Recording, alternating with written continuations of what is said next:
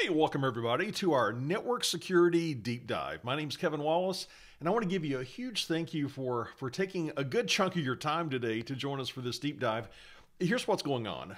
We're recording this in September of 2022 if you're watching this on replay, and this is our eighth anniversary of being in business. So I thought, you know what? I'm going to do this big, massive marathon, and I could think of no better topic than security for our marathon training session. In fact, let me give you an idea right off the bat what's coming up today by taking a look at our agenda.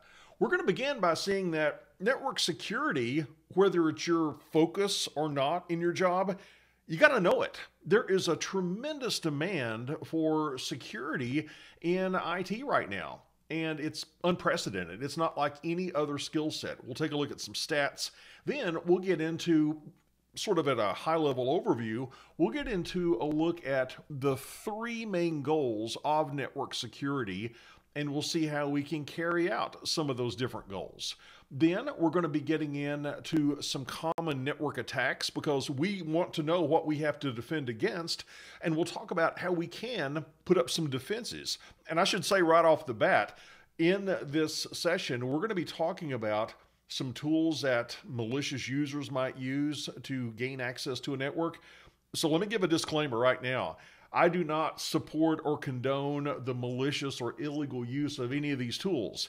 I want to give you this information to help you defend against those bad actors out there.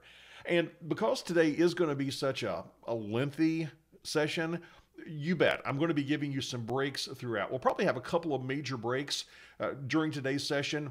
Just guessing, and this could vary a little bit. This is just a guess. I'm guessing today's session is going to run about five hours. So you might want to uh, think about that and what you have coming up over the next few hours. But uh, coming up in Module 4, we'll get into wireless security. There are all sorts of wireless security standards, and not just wireless in terms of Wi Fi, but uh, here's a Here's a Bluetooth. It's called an Ubertooth 1. Here's a Bluetooth adapter. We can actually do some hacking with, uh, with Bluetooth. We'll get into that as well. Talk about how we can protect ourselves against that. Then we'll spend quite a bit of time talking about session hijacking. You see, here's the deal. Instead of trying to guess or figure out somebody's password to get logged into something that they have access to, what if we wait for them to gain access on their own. They log in, they give their credentials, they're talking back and forth. They've got that session established, and then we, well, not we, but a malicious user hijacks that session. That lets them bypass the whole process of being authenticated. We'll talk about how session hijacking uh, can happen and how we can protect against session hijacking. We'll talk about physical security because we can have all these great protocols and systems in place, but if somebody can just walk up and get to the console, uh, well, here's a, I've got a got a Cisco Catalyst switch right here that we're going to be using for a demo later on. If somebody can get access to the console, they can own your device pretty much. They can do password recovery. So we want to have physical security as well. And we'll talk about some of the emerging uh, security th- threats that we haven't traditionally thought a lot about, or at least I haven't.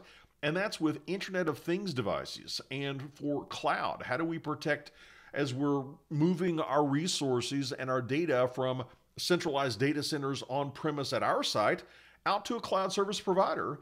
And we're going to see one way of getting that security to the cloud, and we're using it more and more, is VPN technology, virtual private net, uh, virtual private networks. We'll talk about different types of uh, protocols that can be used, how we might use some of them together. And I think you'll really enjoy that VPN discussion. And we're going to wrap it up with a discussion of dynamic multi-point VPNs. So lots of great security content coming up today. Hope you're excited. Hope you're going to take a lot of notes. And again, I, I realize this is going to be a marathon session, so we will give you a couple of breaks throughout. And my brief bio, because we're going to be spending a lot of time together, here's where I'm coming from as I approach this topic. My name's Kevin Wallace. I've got a, a couple of CCIEs. I got my first CCIE way back in 2001. It was the route switch CCIE, and I've since then upgraded it or updated it to the CCIE Enterprise Infrastructure. I've also got in 2012, I got a CCIE in voice, and I've since upgraded that to a CCIE in collaboration. And now, being a CCIE for 21 plus years, I've reached lifetime emeritus status, so I don't have to retake anything. I get to just keep my CCIE for life, and that really makes me happy. But I've been working with Cisco gear really since the very first Cisco router. Back in the late 80s, the Cisco AGS Plus router, that was the first router I worked on. And I've been working with Cisco gear ever since. I've taught courses for Cisco Learning Partners for about 14 years before I went into business for myself about eight years ago and started teaching these courses online. Uh, in the real world, one of my favorite jobs ever, okay, was my favorite job ever in the real world because my family and I were huge Disney fans. You can probably see some little Disney artifacts on the bookshelf behind me. But um, I got to be one of five network designers down at Walt Disney World in Florida. That was just an amazing experience. I got to design the network that tied together the Magic Kingdom and Epcot and the, the studios and Animal Kingdom and a bunch of the resorts. Just had a great time there. And I've written a bunch of books, done a lot of video courses for the folks over at Cisco Press, and I've been privileged to speak at a couple of Cisco Lives. And um, each time got the Distinguished Speaker Award. Bottom line is, I've been doing this for a while and I am passionate about it. I love this stuff and I cannot wait to add some value to you today because we're going to be touching on security concepts that show up in a bunch of different Cisco and non Cisco exams. Let's get started here in Module 1 by just getting a sense for the incredible demand we have in the industry for network security skills.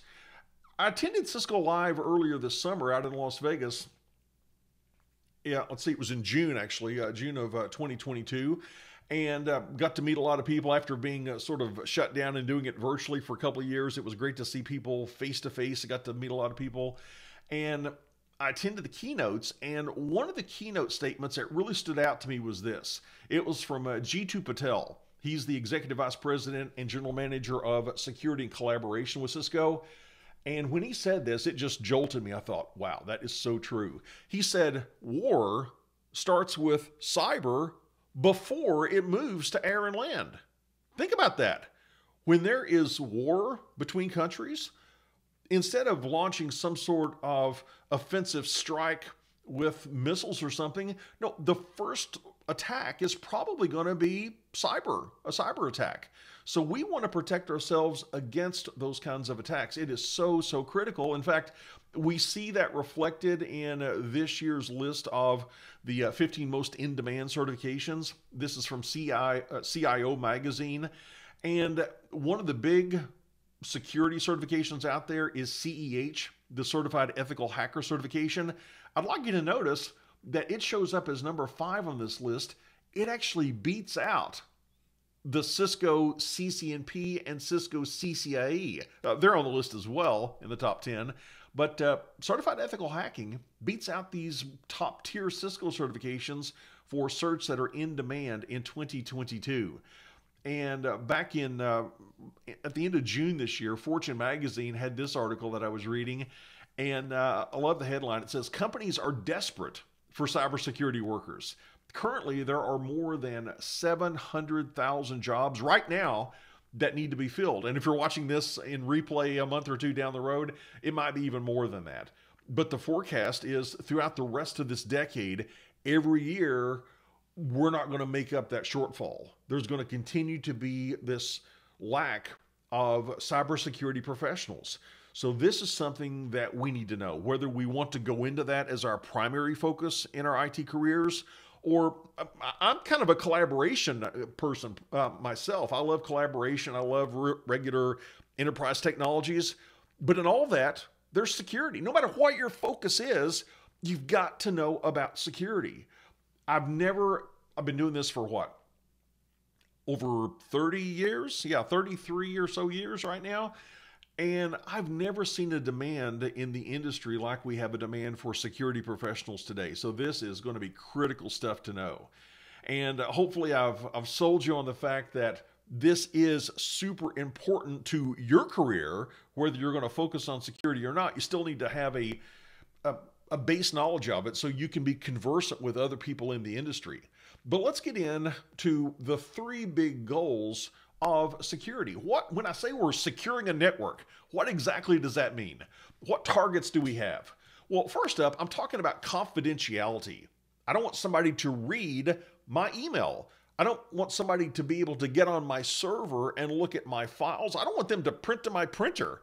If they capture traffic going across the wire or going across the airwaves over an antenna, I don't want them to be able to read it. I want to have confidential communication and confidential storage.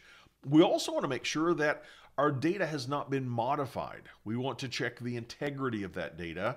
And one of the things we have to defend against is somebody just bringing our system down. You've no doubt heard about uh, DOS or DDoS, uh, denial of service attacks. That's where an attacker just floods a system with so much traffic that system is not able to do its regular job because it's dealing with that onslaught of junk data coming into it. And that can bring our system down. We're being denied service to our system. In other words, we want our systems to be available and we're going to talk about what metric defines high availability. First, though, let's focus on confidentiality.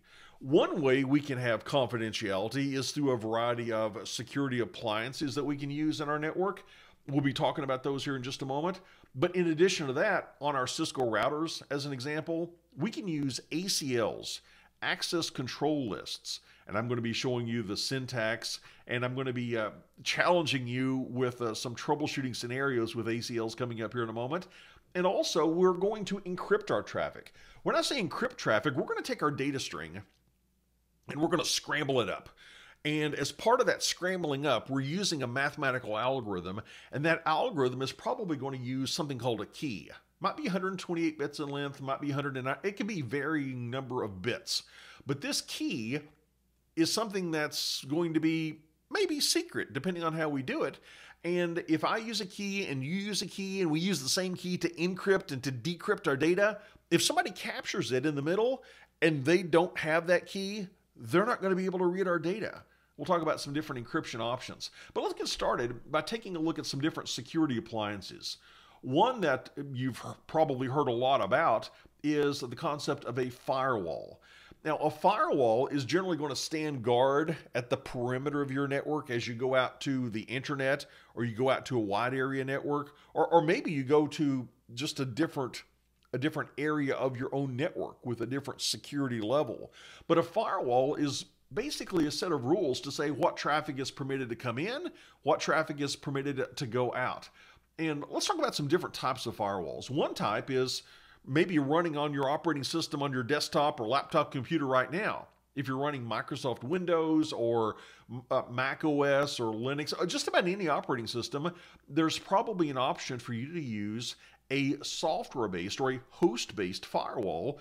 So if somebody's trying to get to your computer specifically, you can set up some firewall rules to allow or deny that kind of activity. Now, that's on sort of the micro level, getting down to the individual devices, but oftentimes we think of firewalls as being an appliance that's going to sit at the boundary of our network. And a very rudimentary type of firewall, and I even hesitate to call this one a firewall, but I want you to know it because it might show up on an exam someday, is a packet filtering firewall. When I say packet filtering firewall, I'm talking about an access control list, really. A set of rules to say this section of the network or this IP address or these IP addresses they're allowed to go out or they're not allowed to go out or they're not allowed to come in. Uh, for example, this would not be a good use of a uh, packet filtering firewall. Let's say that we set up a router at the edge of our network going out to the internet, and we thought, well, I trust people inside of my network. I'm going to allow them to come into my router and go out to the internet. But I don't trust the internet because there's a lot of bad actors out there. So we set up our access control list to block traffic on the internet from coming into us. Think about how that would work though, or how that would not work. Let's say you're on the inside, you're a trusted individual, and you're trying to go to a website on the internet. Well, as that packet goes into the router, it says, oh, they're good people. They're on the inside of the network. Let them go out to the internet, and you go to the internet website the internet website is trying to send you the page that you requested back. But when that page comes back into the router, the router says, no, no, no, you're coming from the internet. I don't trust you. And it's going to drop that. You see, we're not getting two way communication. So, sitting at the boundary of our network, that's not a good place to use a packet filtering firewall. What we might do instead is use a stateful firewall. Now, here we're overcoming that issue that I just described we remember the state of a session. Again, I'm on the inside, I'm trying to get to a device out on the internet somewhere. And when I go into the router or into this stateful firewall, it's going to make a note of this. It's going to say, oh, I see this IP address on the inside of the network is going to this other IP address on the outside of the network. They're using this source and this destination port number. I'm going to remember that. Then, when that web server in this example returns that web page, the source and destination IP addresses and the source and destination port numbers, they're going to be transposed. But the router is going to realize that and say, oh, that's return traffic from a session that, here's the key, a session that originated on the inside of the network. So I'm going to allow that traffic back in. That's a stateful firewall, and that's what we used really for decades. But in recent years, that's been uh, improved even more. Now you might hear about a next generation firewall or a layer 7 firewall. Here, the firewall appliance can examine more than just IP address information. It can get into, as the name suggests, it can get into layer 7 information. It can understand how different protocols work together. Uh, for example, here's the first one that comes to mind. I do a lot in collaboration, and when I'm setting up an IP phone call with a Cisco IP phone, I might be using a protocol called SIP, the Session Initiation Protocol, to set up the session, to make the phone call. But then once I start talking, that SIP session is going to uh, is going to let me start stream, streaming my voice, and that's going to be done using the RTP protocol, the real-time transport protocol. Well, a stateful firewall is just the, the first example that comes to mind is going to understand that, oh, yeah, if a session begins using SIP, then it might transition to RTP. And it's going to realize, okay, that's still part of the same session. So we can look into protocol specific things in our streams and permit or deny traffic based on that. Something else we might want to do, and this is what we did at a university where I used to work uh, years ago, we could divide the network into different security zones. What we had at the university was we had a connection out to the internet and one firewall port pointed out to the internet. We had another section of the university that contained the uh, the residence halls where the students lived. And we had another section that contained the faculty and the staff, the classrooms. We wanted to prevent somebody from sitting in their dorm room at night from getting into maybe a faculty computer. We wanted to put that in a different security zone. So, what we did is we created what uh, some people call a DMZ or a demilitarized zone. We had one firewall port going out to the internet. We had another firewall port going into the faculty and staff inside of the university, and another firewall port connected out to the residence halls within the university. Uh, another example in uh, in a corporate uh, in a corporate setting, we might have servers that we want to be available from the internet. Maybe we have our own web server that we host locally we have our own email server that we host locally, it's in our data center. People on the internet need to be able to access those servers, at least on certain ports. So, what we might do is put those publicly available servers in a DMZ. We could still limit some things, we could limit what ports are going to be used. But if somebody were to compromise that web server, we don't want that to become a hop, hopping off point to get in and compromise something in the inside network. So we can create this DMZ, which is not going to have permission to start a session in the DMZ and then come in to the inside network. So we can have these different layers of security. So a firewall, that's one appliance that we might have. Another appliance is called an IDS sensor, an intrusion detection system sensor. Here, you'll notice that my IDS sensor is connected in uh, to an Ethernet switch. And when a packet coming in from the internet hits that switch, the switch is making a copy of it. One copy is sent, well, the original packet is sent on to its destination, the client you see in the upper left hand corner of the screen. But the copy that it made, did you see it went down to the IDS sensor? So the IDS sensor is monitoring traffic flowing through that switch. And it's monitoring it for malicious patterns. There is what's called a signature database that the IDS sensor has, and if it sees that there's potentially malicious traffic coming in, it can alert us to that in fact, some IDS sensors can even go out and uh, speak to the firewall and say, hey, we're being attacked from this network or from this IP address. I want you to create a rule that says block that IP address from coming in. But notice the packet originally, that might have been a malicious packet that originally came in, it did make it to the client. There are some attacks, they're called atomic attacks, where an attacker can do damage to a system with just one or two packets. In a case like that, the IDS sensor might realize we were attacked, but we weren't preventing the attack. To, to overcome that issue, what we can do is use a different type of sensor called an IPS sensor. And an IPS sensor is an intrusion prevention system sensor. So again, an IDS, it inspects traffic and it can react to a copy of the received traffic, but an intrusion prevention system sensor, it's going to sit in line with the traffic. So when that traffic comes in from the internet, if it detects based on its signature database that this is malicious traffic, it's going to be able to react and potentially drop that traffic in line. It takes a look at that, says, "Oh, you match this well-known attack type in my signature database. As a result, I'm going to drop you." And sometimes, just like we can have a host based firewall, sometimes we can have a host based IPS system, uh, an IPS sensor, where we can where we can on our host block traffic coming in our network interface card before it can ever do any damage to our system. So that's the distinction between an IPS and an IDS sensor. So firewalls, IDS sensors, IPS sensors, those are some of the security appliances that we might use. Another line of defense is an access control list or an ACL. If you've gone through your CCNA studies or perhaps ENCOR studies, then you've probably learned about these access control lists. Let's do a bit of review. To begin with, a lot of people think that an access control list is basically a traffic cop holding up a, uh, a go sign or a stop sign based on traffic coming into a router interface or going out of a router interface. And that's true, it can do that.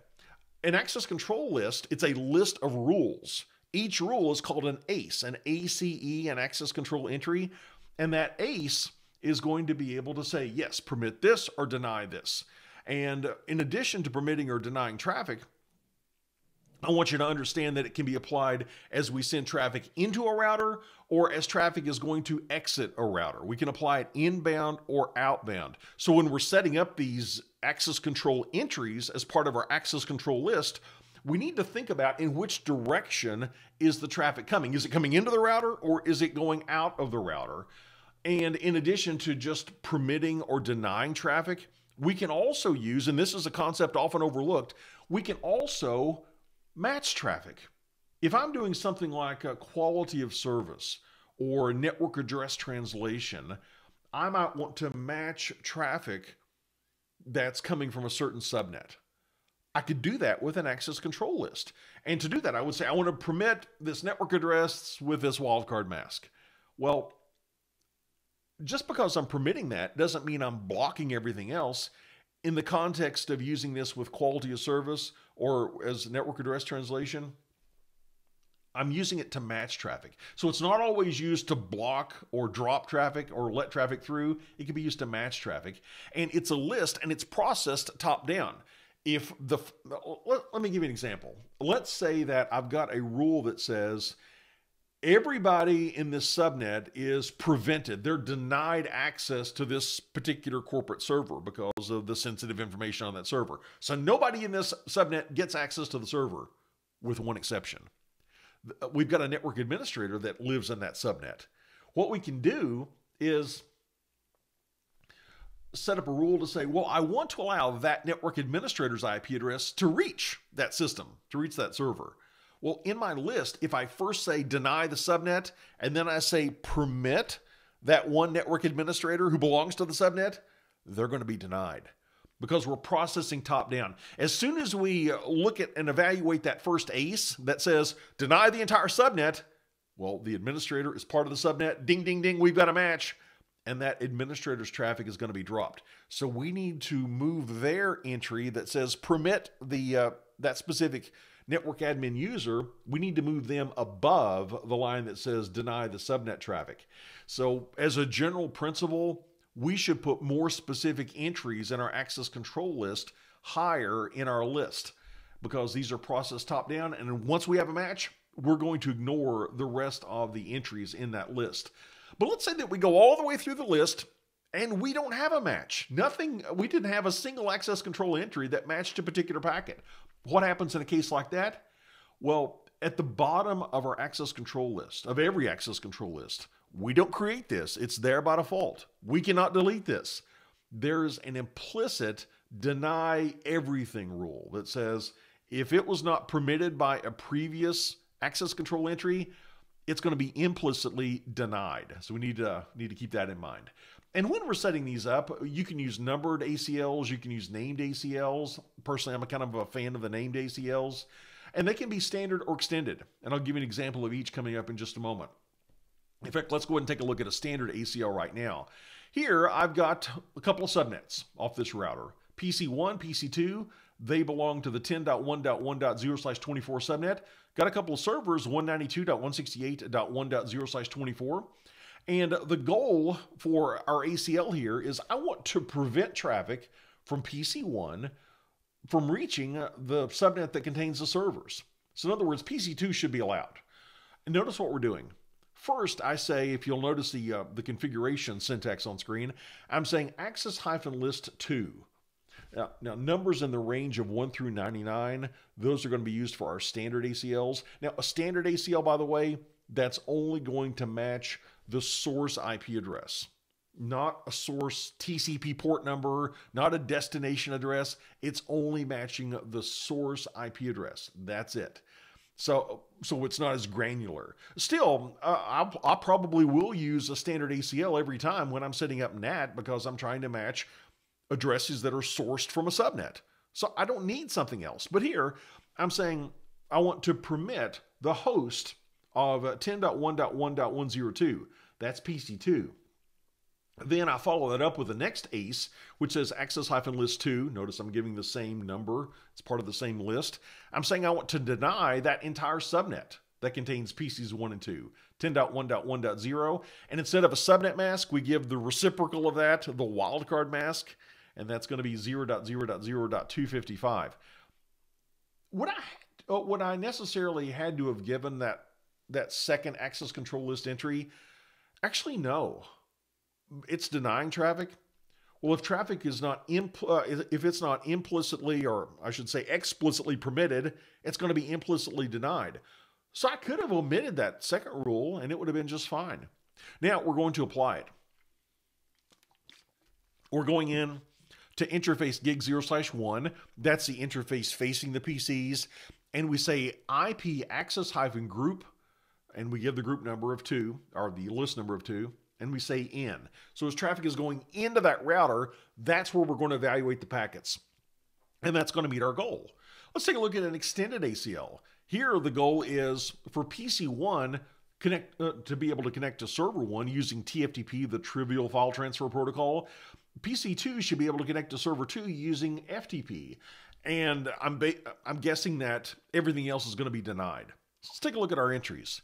Access list 101. So uh, starting at 100 through 199, those can be used for extended ACL numbers. So access list 101 permit, and here I don't have to match an entire subnet or an entire, uh, not a subnet, but match an entire protocol suite like IP. I can match particular protocols. Here, it's I'm going to match trivial file transfer protocol. That's UDP based. So I say permit UDP, and later on in this line, you'll see that I, I specify the UDP port number, but I wanted to permit the host of 10.1.1, uh, 10.1.1.101, that's PC1, to go to a destination. We couldn't specify a destination with standard ACLs, but we can here. We're going to go to a destination of 192.168.1.2. That's going to be uh, server 1, and then we say EQ69 that is equaling UDP port 69. That is TFTP. We do something similar in the next line. We say access list 101 permit TCP this time for FTP from uh, the host is PC2 and the destination is uh, server 2, and we say EQ FTP. And I did this to illustrate that sometimes we can specify an individual port number, but Cisco IOS knows about the names of a wide variety of protocols. Check it out sometime with context sensitive help. So I don't necessarily have to give a port number, I can give a protocol name like FTP. And I did not say deny anything else, even though I said everything else should be denied. Do you remember why? The reason was everything else is going to be implicitly denied if I don't explicitly permit it. Then I go into interface gig 0 slash 1 and I say IP access hyphen group N. So I'm I'm specifying coming into router R1 from the subnet containing the PCs. Now let me challenge you with a few examples. Here you see the syntax currently on router R1 and the goal is to prevent traffic from PC1 from reaching uh, the subnet containing the servers. But the symptom we're having, huh, curious. PC2 is unable to reach the 192.168.1.0 slash 24 network. So PC1 should be denied, but the symptom is both PC1 and PC2 are denied. In fact, so you can see the syntax a bit better, I'm going to make this full screen for you. That'll let you get a better look at it.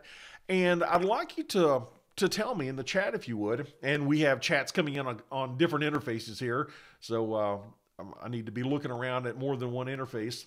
But uh, and by the way, there's a delay from the time I speak something to the time you hear it. There can be a 15 second delay. So I'll try not to drag it on too long. But I want you to go ahead and chat in if you would. What's wrong with this? What's wrong with this syntax on screen? I'll give you a few seconds and you can chat it in when you spot the issue.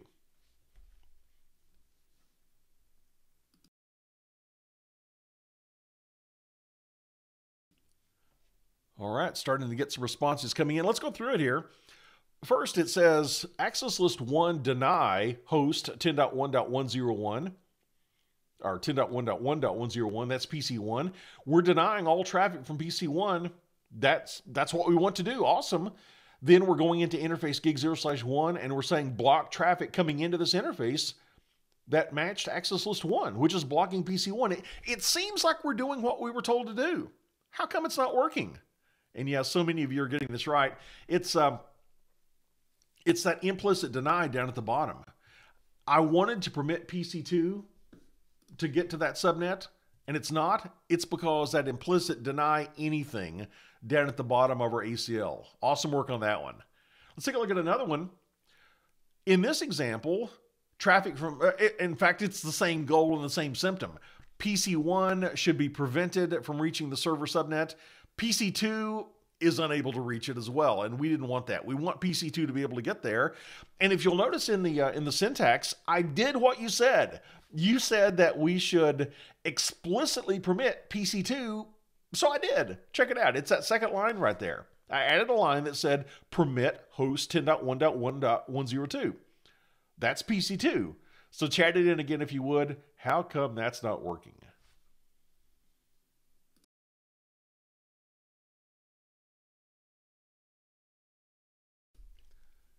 Yeah, great job. It's because this is an access control list, and this list is processed top down.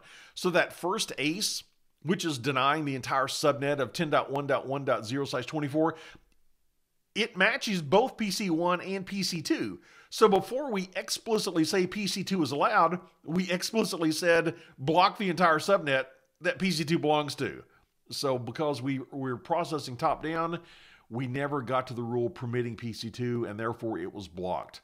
All right, let's move to an extended ACL now. A little bit more challenging. Here's the goal. PC1 should be able to connect to server 1 using TFTP. PC2 should be able to connect to server 2 using FTP.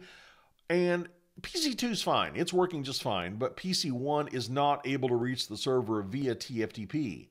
This is kind of like what we saw in our example a few moments ago. Again, I'll give you a few seconds to peruse the uh, syntax and chat in your response. What is going wrong here?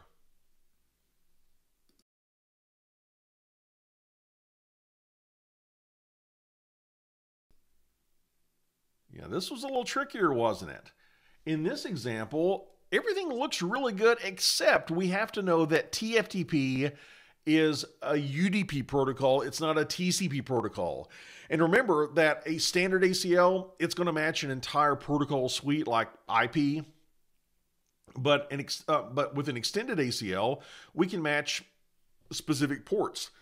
And a port is going to be typically either a TCP or a UDP port. And here, that first line says TCP. It should have said UDP. You guys are doing awesome. Let's do one more. Here, we want to allow PC1 to reach server 1 and server 2, uh, and we want to prevent PC2 from reaching either server. So PC1, go to the servers, PC2, don't go to the servers. The symptom is neither PC can reach either server. And let's take a look at the syntax here. It's an extended ACL, access list 150, that's in that range of 100 through 199, permitting IP, so I'm permitting all IP traffic TCP and UDP are included.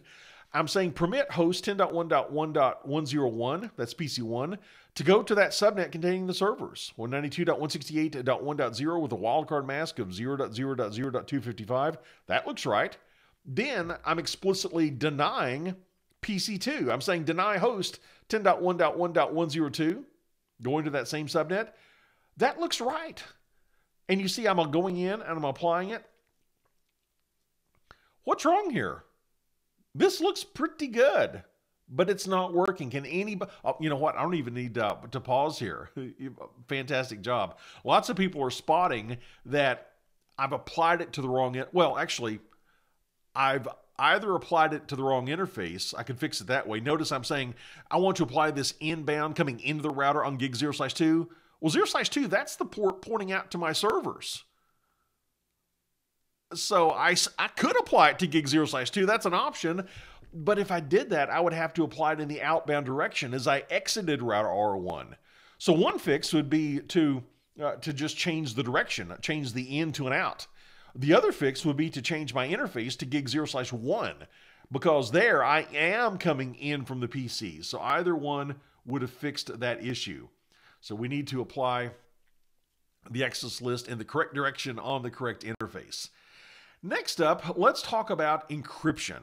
We said encryption is going to scramble our data up such that if somebody intercepts it, they're going to be able to read it.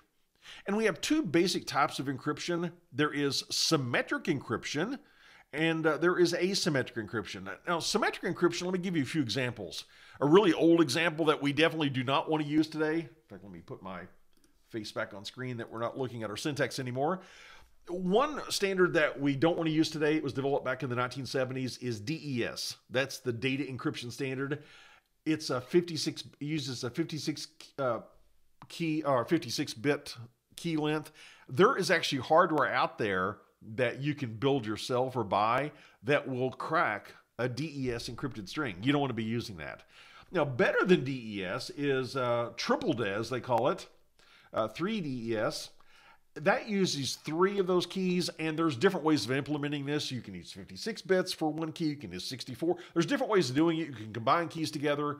Bottom line is, it's a lot better than DES, but you know what's better than triple DES? AES, the Advanced Encryption Standard.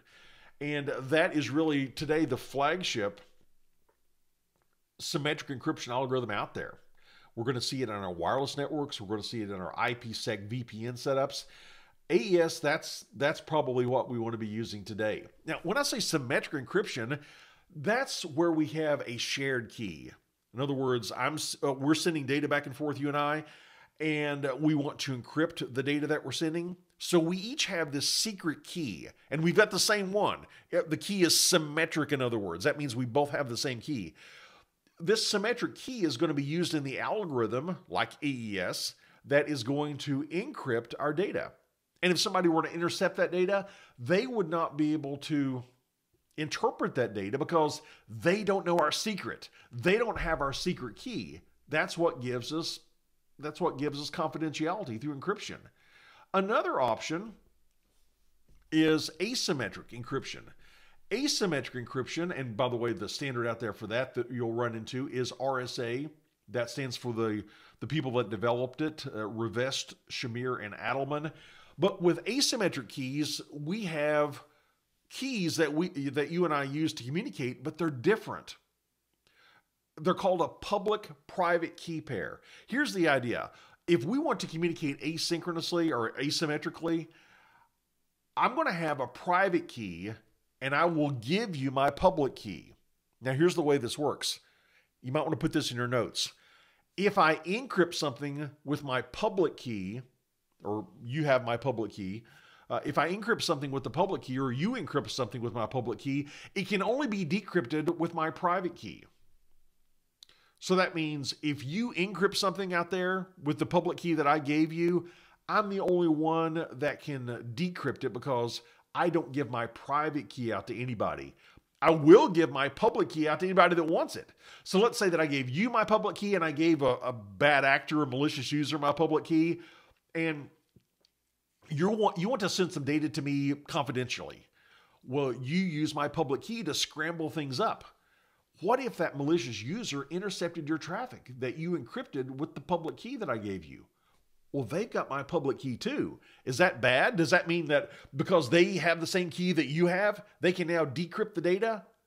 Well, that would be true with symmetric, but not with asymmetric.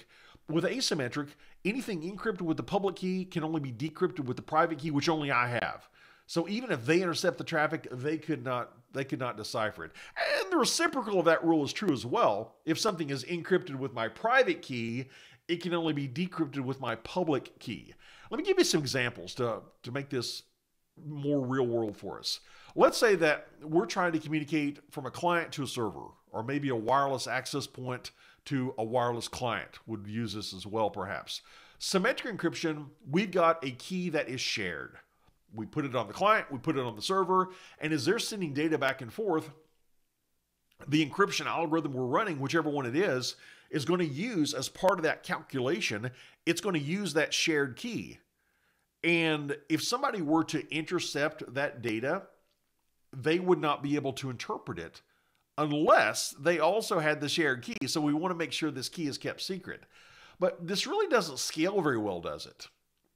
Think about this. If I had 5,000 users in the company and uh, we gave everybody the same shared key on their device, what if we had a disgruntled employee that left and they, they took their key with them and uh, maybe they knew what key they configured on their PC? Suddenly, we've got to go around and change the keys on all our thousands of devices. That's no fun. So this is not going to be something that we want to uh, that we can scale really large if we have to go to every device individually and configure it with a key. Well, couldn't we just use asymmetric encryption? Yeah, here's the deal with that. Something I didn't mention. Asymmetric encryption is compared to symmetric, slow. I mean, it's slow. Like I'm talking a hundred times slower, or it takes a hundred times longer to do asymmetric encryption as compared to symmetric encryption. So asymmetric, we can scale that a bit better, as we'll discuss. That's what we use on the internet oftentimes, but it's a lot slower than symmetric. So let's consider asymmetric. And a common example, I buy stuff from Amazon almost on the daily uh, with the, uh, the the Prime truck pulls up in my driveway very very often. In fact, probably before class is over today, I'm probably going to have a delivery come. So if you hear a doorbell, probably probably Amazon. But let's say that we're going to go out to Amazon and we want to purchase something, and we're going to give our credit card information. So yes, I want it to be secure. Here's what Amazon has. They have something called a digital certificate.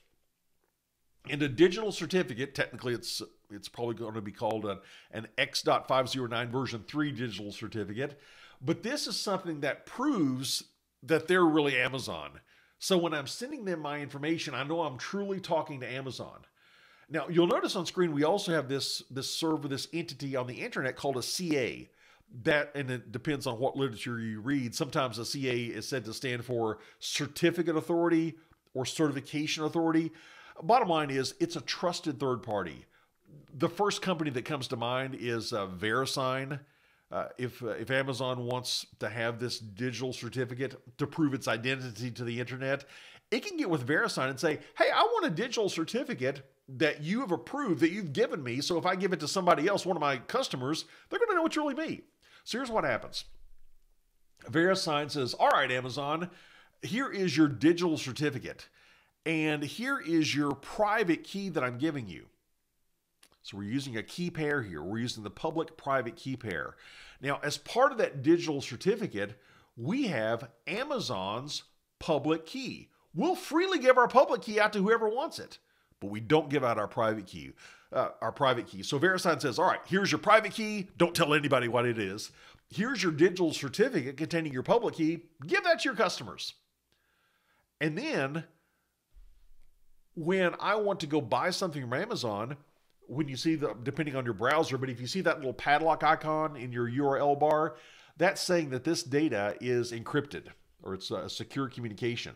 Here's what's happening Amazon sends us their digital certificate. Their digital certificate contains their, uh, their public key. The question is how do I know this digital certificate that I just received is really from Amazon. I mean, there could be a malicious user out on the internet that that's pretending to be Amazon that I got redirected to, and they said, "I'm Amazon. Here's my proof. Here's my uh, digital certificate." Well, the way I know it's really Amazon is that this certificate was signed by a trusted third party. In, in my example, I just picked VeriSign. I don't know if Amazon uses VeriSign or not, but uh, VeriSign has signed the digital certificate to say, I validate this is really Amazon you're dealing with. What does it mean to sign a digital certificate? Well, the VeriSign or the CA, they have encrypted that digital certificate with their private key. Remember the rule? If something is encrypted with somebody's private key, it can only be decrypted with their public key. And we have VeriSign's public key. Let's go through this one, one step at a time. So Amazon, they've got a public and private key pair. VeriSign has said, here's your private key, don't tell anybody. Here's your public key, put that in your certificate, give it to whoever you want. And I want to go to Amazon to buy something. So I say, I want to establish a secure connection so I can send my credit card info. And Amazon says, okay, here is my digital certificate. And this digital certificate contains the public key of Amazon. I've highlighted it for you here on screen. Now, how do I know this is really from Amazon? Well, notice it says it's signed by VeriSign.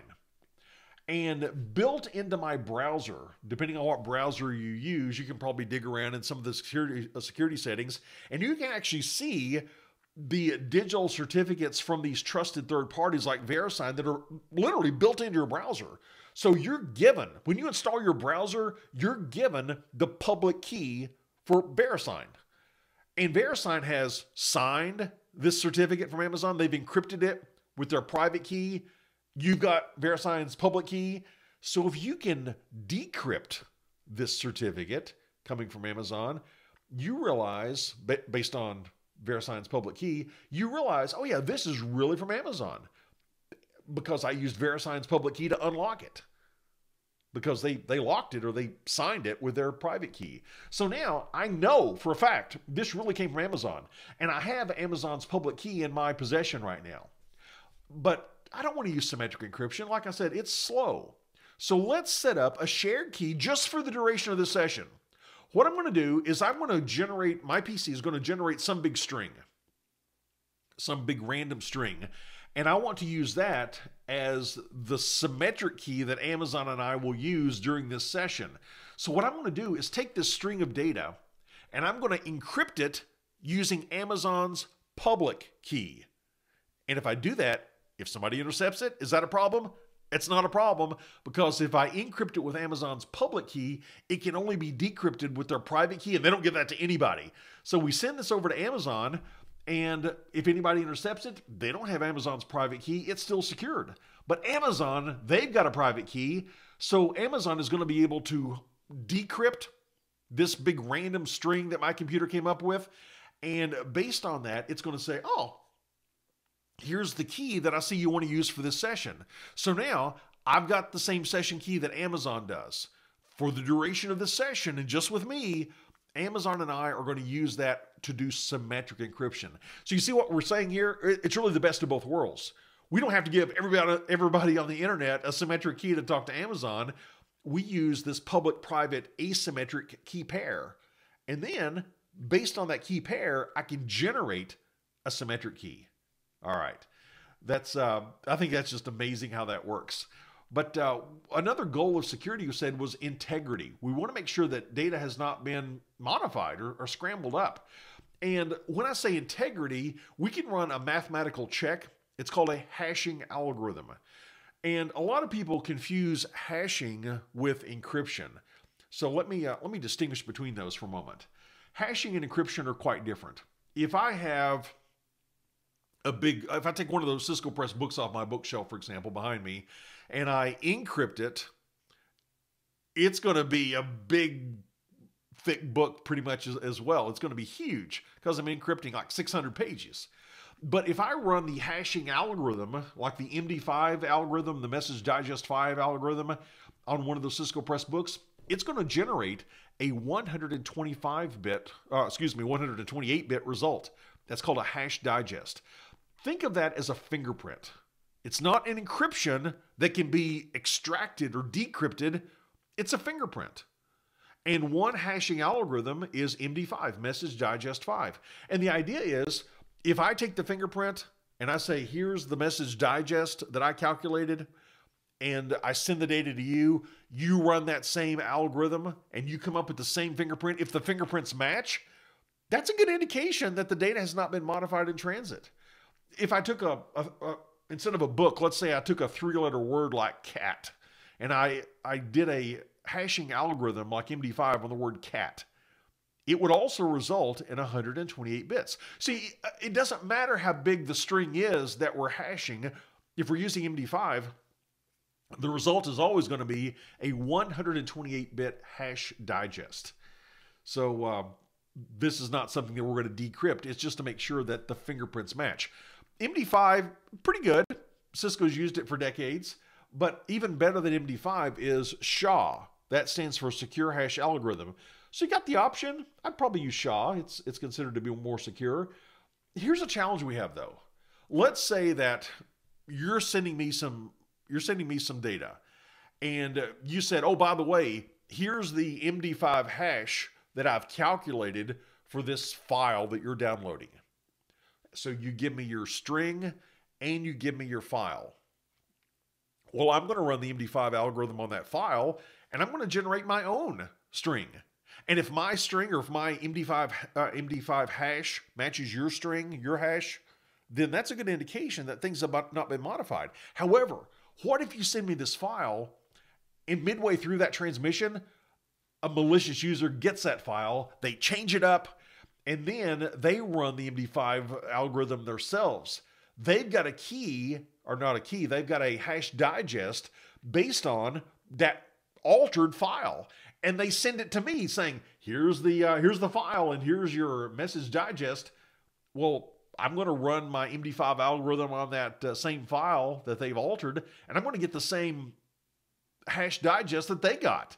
You see, somebody has encrypted or somebody's altered it in transit, and they changed the the digest. What do I do to fight that?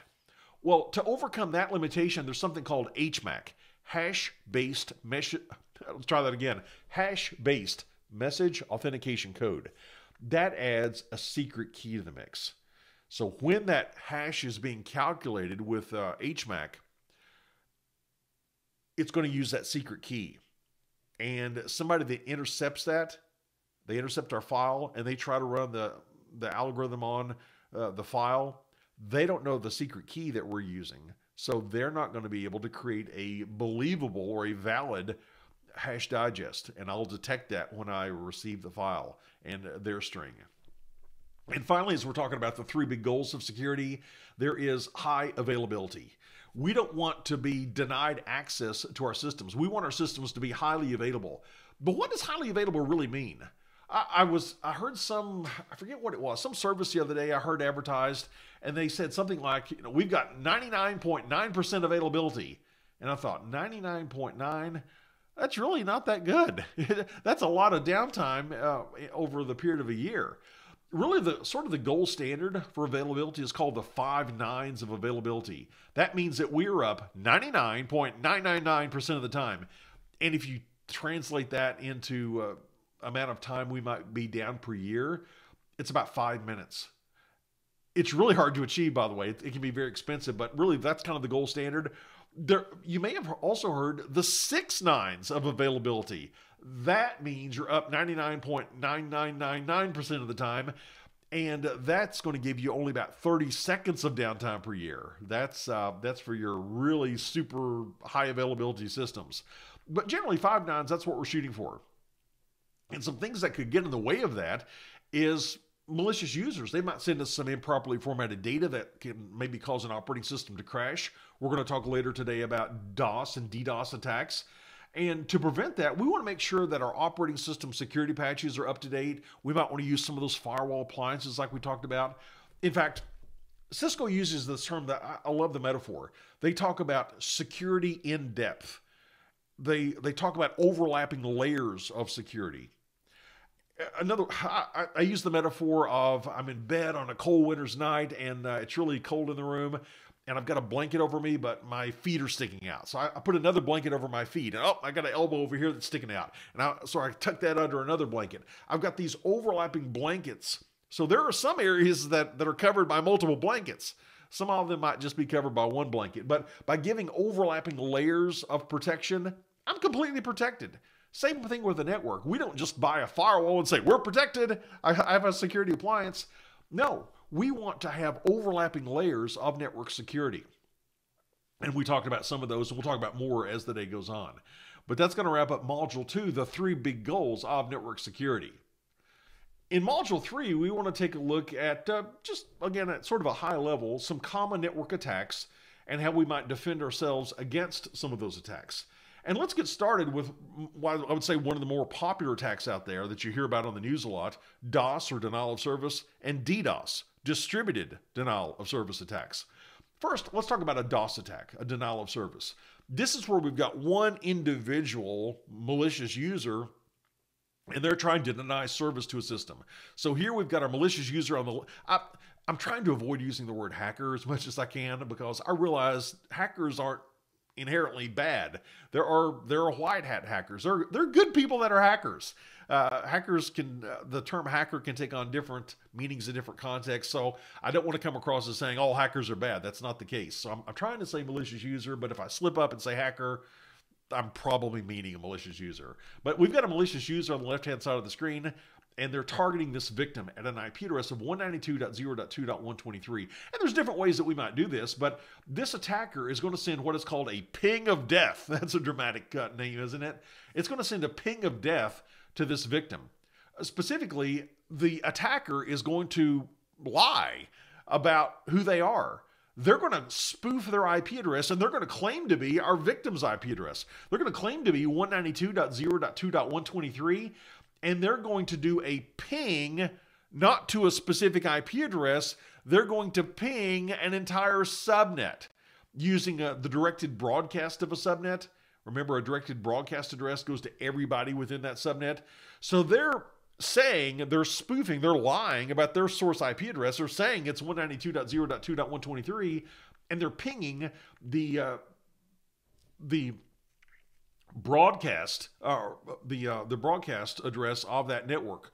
They're pinging 198 dot 150 or dot 51 dot 100 dot 255 and when they go to that directed broadcast the response from every device in that subnet comes out and bam they all hit that victim at once. And this can just continue on and on. And that poor victim machine they're so busy trying to deal with that onslaught of, of ping responses they might not be able to do their regular job now, that's with one attacker trying to flood a victim with a lot of traffic, and they were leveraging a directed broadcast to do that. But we hear a lot, probably a more destructive type of attack than a DoS is a DDoS, or a distributed uh, denial of service attack. Here, instead of just one one malicious user trying to flood a victim with lots of traffic, they over time can infect devices around the world, maybe tens of thousands of devices around the world. And they're going to be able to to infect them with with malware perhaps and uh, they're going to become under the control of our attacker. Now, these infected machines sometimes are called bots, sometimes they're called uh, zombies. And this attacker, when they get ready to launch the attack against their intended victim, they're going to talk to a server that they have called uh, their command and control server. That's going to coordinate instructions going out from that command and control uh, server to these infected bots or these zombies. It's it's literally the rise of the zombies here. We're talking from the command and control server to these infected computers around the world, and we simultaneously have them all rise up and start attacking our intended victim. So by maybe getting some malware into the hands of users around the world, pretending to be maybe a, a game, some sort of other application, or maybe we have some malicious code on a web page that infects them. We can then, or the attacker can control them and say, all right, attack. And simultaneously, they all attack the victim. And if we've got tens of thousands of computers around the internet, that's more likely to do damage than just a single user trying to generate a lot of traffic targeting, targeting a system. How do we protect against that? It sounds pretty bad, doesn't it? Well, here are some here are some general guidelines, and uh, this is some content that I've taken from uh, CEH. Uh, Charles taught some of those modules. I taught some of the modules. This is from a module that I taught, and it's talking about how we can defend against DOS and DDoS attacks. And we'll talk about each of these. TCP routers have a TCP intercept feature. We've already talked about the IPS sensor. There are some detection algorithms. Uh, we might want to give more bandwidth than we need to handle the excess traffic during an attack know what we're going to do in response to attack with an incident response plan. And we might want to pay somebody to attack our network that we know about so that they can detect any weaknesses before the bad actors detect detect any weaknesses. But let's talk about these one at a time, beginning with this uh, TCP intercept feature. Remember how TCP works? It's a three way handshake. If I want to set up a conversation with you, I'll send you a synchronization message, uh, an SYN, a SYN message and I, am saying, hey, I'd like to talk to you. And you respond with an acknowledgement saying, okay, I'm willing to let that happen. You can talk to me. Oh, by the way, I want to talk to you too. So you'll send me a SYN of your own. So I send you a SYN saying, let's talk. You send me a SYN ack saying, I want to talk to you. And yes, I acknowledge your SYN. And then I'll acknowledge your SYN with my own ACK. So here's the three way handshake SYN, SYN ack, ACK. That's how a TCP session is set up. Now, the attacker is sending a synchronization message into router R1 and with the TCP intercept feature, R1, before it passes the traffic onto the target server, one option for setting this up is to have the router itself participate in that handshake. So the target server, anybody on the inside of the network, they don't even become involved until the router has confirmed that this session is fully established. So on behalf of our server, in this example, the router is responding with a SYN-ACK and the attacker responds with an ACK. And once the three way handshake is set up, then the message or then a session is set up between the router and the target server, and they're tied together. So the uh, attacker or the person on the internet, we don't know if they're bad or not yet, they're then talking to the target server. But what a, uh, what that malicious user might do is send a flood of synchronization or SYN messages saying, "Hey, let's set up a session. Let's set up a session. Let's set. They just flood it over and over, and every time they do, the poor router's saying, "Okay, here's my SYN-ACK. Okay, here's my SYN-ACK." We're t- uh, if we flood this router with all these SYN messages, but we never respond to the SYN-ACK that they send back to that the router sends back to to the attacker, then the router resources are being consumed they've got what are called half open connections, or sometimes in the literature they'll be called embryonic connections. They're not fully formed connections. And these connections, if there's enough of them, will consume our router resources, thus giving us a denial of service attack on the router. So here's something I used to do years ago back at the university where I was the uh, network engineer. Uh, we set up this TCP intercept feature. And there's two modes we could operate in. The intercept mode is what we saw in the animation a moment ago. That's where the router is going to make sure this is a valid session before we ever get somebody on the inside of the network involved. They're going to respond to the SYN messages on behalf of the inside users. And if it's not set up, we don't have to have the server on the inside deal with all these half open connections. Uh, the router is going to deal with that. Or we could be more passive. The router could be in a watch mode. And in watch mode, we're we're looking at what's going on. We're watching the traffic go. We see the send message. I see you send message. You're going to that target server on the inside. We made a note of that. And we'll let it happen until we exceed some threshold where there have been too many SYN messages sent within a certain period of time. At that point, the router gets involved and, and starts blocking things. Another way to prevent or to mitigate those DOS and DDoS attacks, something we've already talked about an IPS sensor. where we can have this signature of well-known attacks, and those well-known attacks, if we if they match a signature in that signature database, we can block them in line. And this signature database could be something that we update regularly as as part of our weekly routine or sometimes sometimes we can integrate our IPS sensor with an online service that keeps up to date information about threats like day zero attacks that are emerging on the internet. Cisco has something called Cisco Talos, and we can integrate our Cisco IPS sensor with Cisco Talos, and it's going to tell us and it's going to give us information about these hot spots around the world that are having security breaches, and we can see what uh, what the current signatures are that we're trying to protect against. One of the toughest things to block with a DOS or a DDoS attack is called a zero day attack. This is where a user, for the very first time, or a malicious user, they launch for the very first time an attack, and it's not in our signature database. How do we detect something that we don't have a record of? Well, there are zero day attacks can be somewhat mitigated by integrating with an online system like Talos that's going to give us very quick updates when those are detected. But even beyond that, Cisco can use as part of their uh, Firepower firewall series, they can use machine learning to detect what it estimates to be malicious traffic. Even though it's never been detected and logged before, it's not in our signature database, yeah, Cisco Firepower might be able, through machine learning again, to detect what it suspects to be malicious traffic and then isolate or block that traffic. And that's available on the 9300 series as an example, uh, Cisco Firepower Firewall. Cisco also recommends that to protect against a DOS or DDoS attack, we can over provision our bandwidth because when we are being attacked with a flood of traffic coming in, that flood of traffic is going to be consuming extra bandwidth coming into our network. So even if our router is keeping a log of all those SYN messages and we're blocking stuff and we're recognizing malicious traffic, it's still coming over the pipe to us. So during the time where we're detecting and responding to that attack, it might be a good idea to have some extra bandwidth on that link. So if we do have that flood of traffic coming in, we're better able to handle that and we're not getting a denial of service on our internet link as an example. And when we are under attack, it's great if we know what we're going to do in response because sometimes honestly I, I see a lot of emotion in networking when things go wrong or when attacks happen. Some people can kind of freak out. Ah we're under attack. What do we do now? Let's unplug everything. Now it's a lot better that instead of trying to come up with a response in the heat of the moment under the pressure of we're under attack if you have previously with a clear mind documented what you're going to do in response. You've got a plan of action. So, oh, we're under attack. Let's execute this plan. Bam, we're going to do this, this, and notify these people. We're going to set this up. We're going to make this rule. We're going to update this.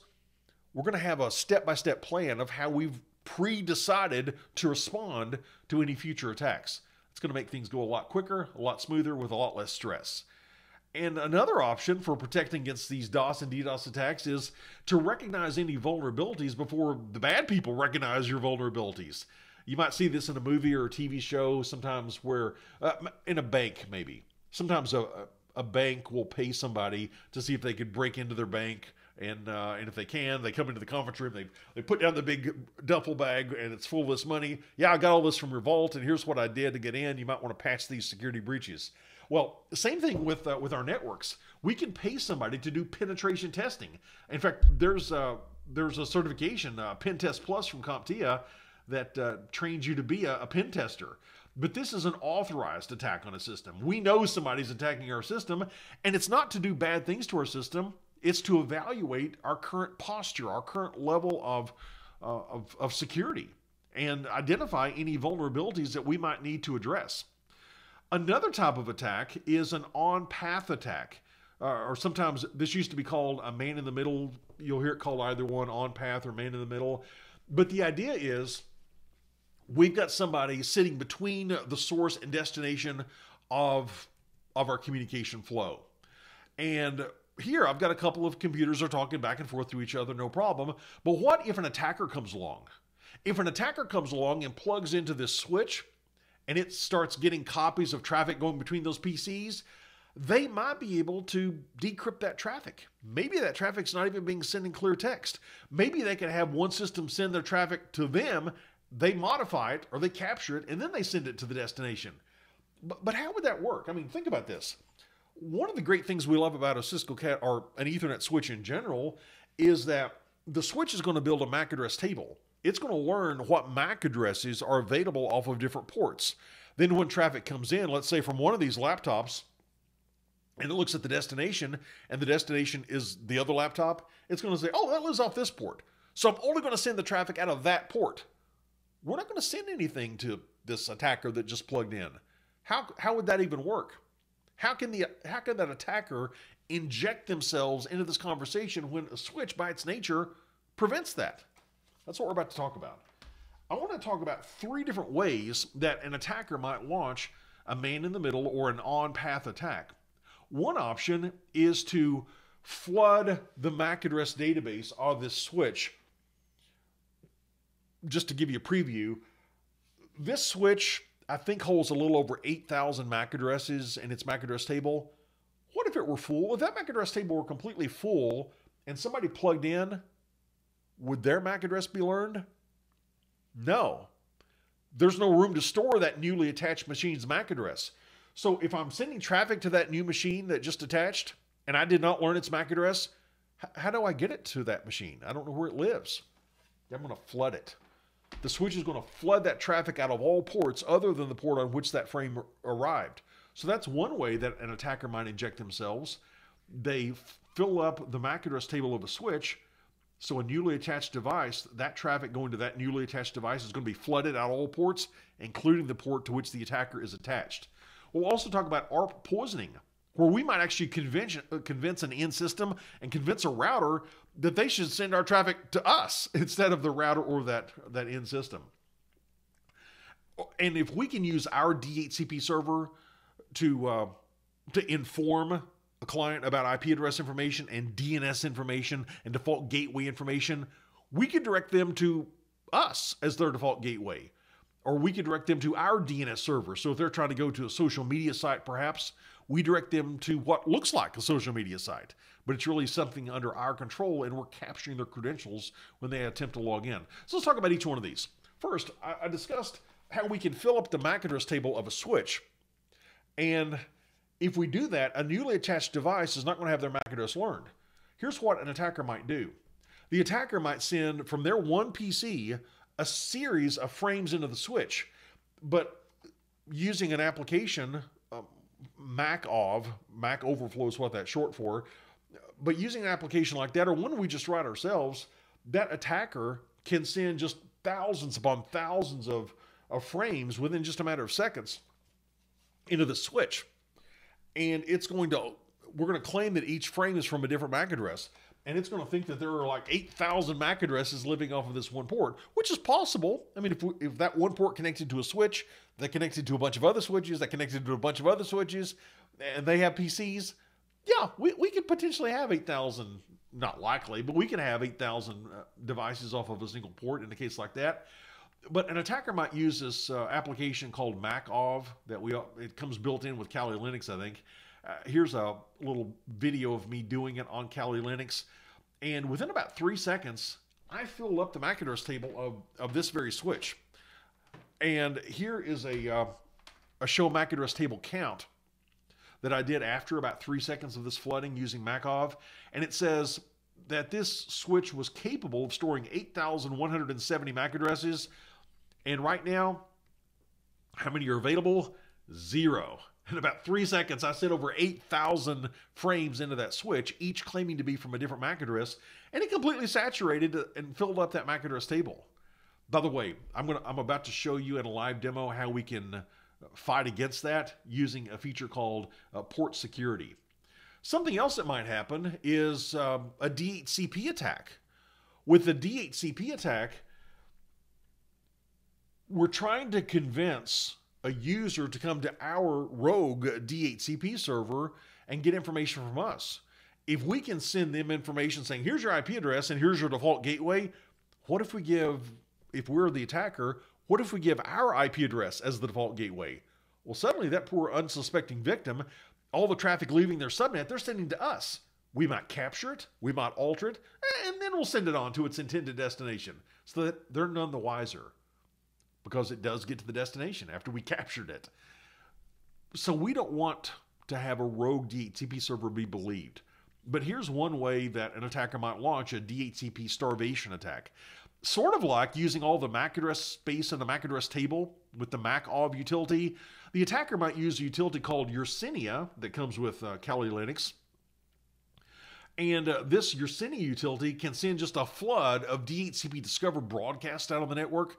Uh, and those might reach the corporate DHCP server, and they say, Yeah, I'm a DHCP server. And we could say, All right, give me an IP address, and, and here's my MAC address.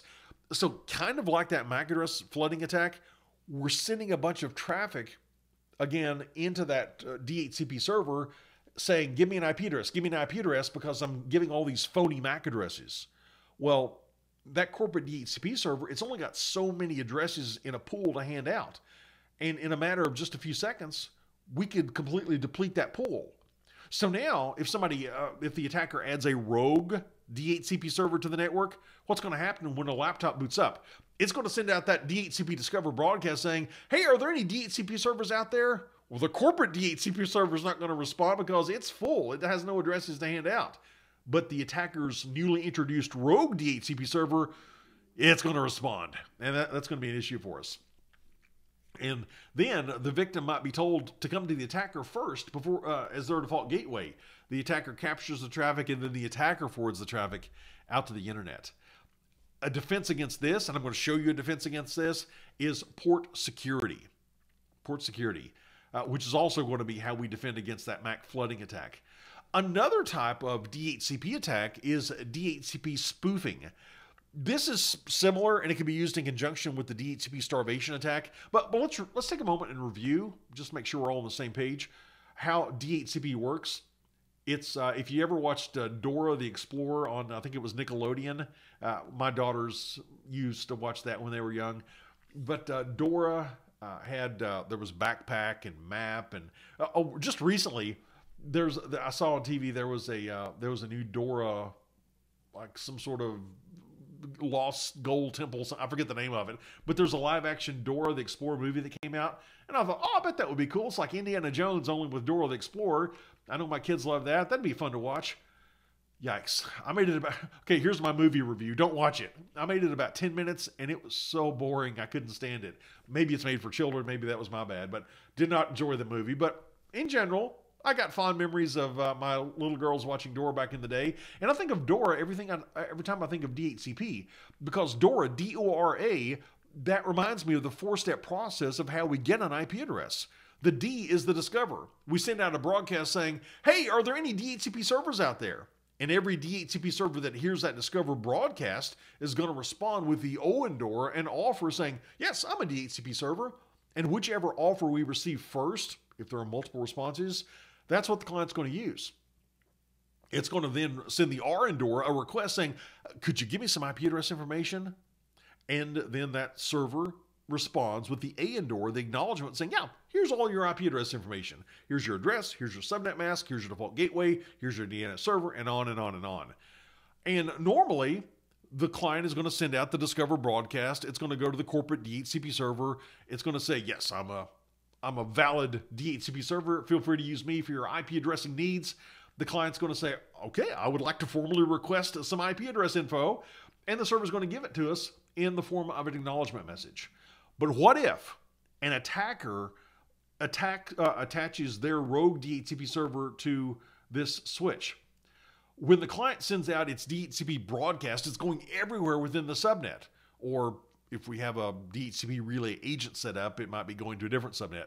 But we're, the rogue server attaches to the same subnet that the corporate DHCP server is attached to, and it receives the Discover broadcast as well.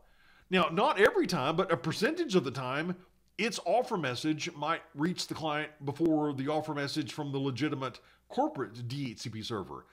And since in this case the client received the rogue DHCP server's offer message first, it's going to say, All right, I'm choosing you because you're quick on the job. We're going to ask you to give me information, and we're given false information. How do we protect ourselves against that? Well, we can set up a feature called DHCP snooping on our Cisco Catalyst switches. What we do there is we say what port is trusted and what port or ports are untrusted. We'll say that a port is trusted if it does connect out to our legitimate DHCP server. So here, the first port on the switch, that connects to my legitimate corporate DHCP server. And we'll say it's trusted. Everybody else is going to be untrusted. Now, what does untrusted mean? Untrusted means if I receive a DHCP offer message coming into this port, it's going to be dropped if it's untrusted. So in this case, the Discover broadcast goes out. Both DHCPs, the good one and the bad one, they both respond. But when the offer message from the attacker tries to come into the switch, bam, it's going to be dropped because it is coming, trying to come in on an untrusted port. And I'm going to show you in a live interface in just a few moments. In fact, we'll, we'll configure it on this switch. I'll show you how to set up DHCP uh, snooping. I think you'll really enjoy that. Another way that a, an on path attack might be launched is with ARP poisoning. Remember how ARP works when a PC gets its IP address information uh, and it wants to go out to the internet, for example? It knows, in this case, the victim's laptop knows that its default gateway is 10.1.1.1. But the very first time it tries to talk to 10.1.1.1, it, it doesn't know the, the MAC address of 10.1.1.1. How does it learn it? It learns it by using an ARP, an address resolution protocol broadcast. It says, hey, can anybody tell me the MAC address of 10.1.1.1?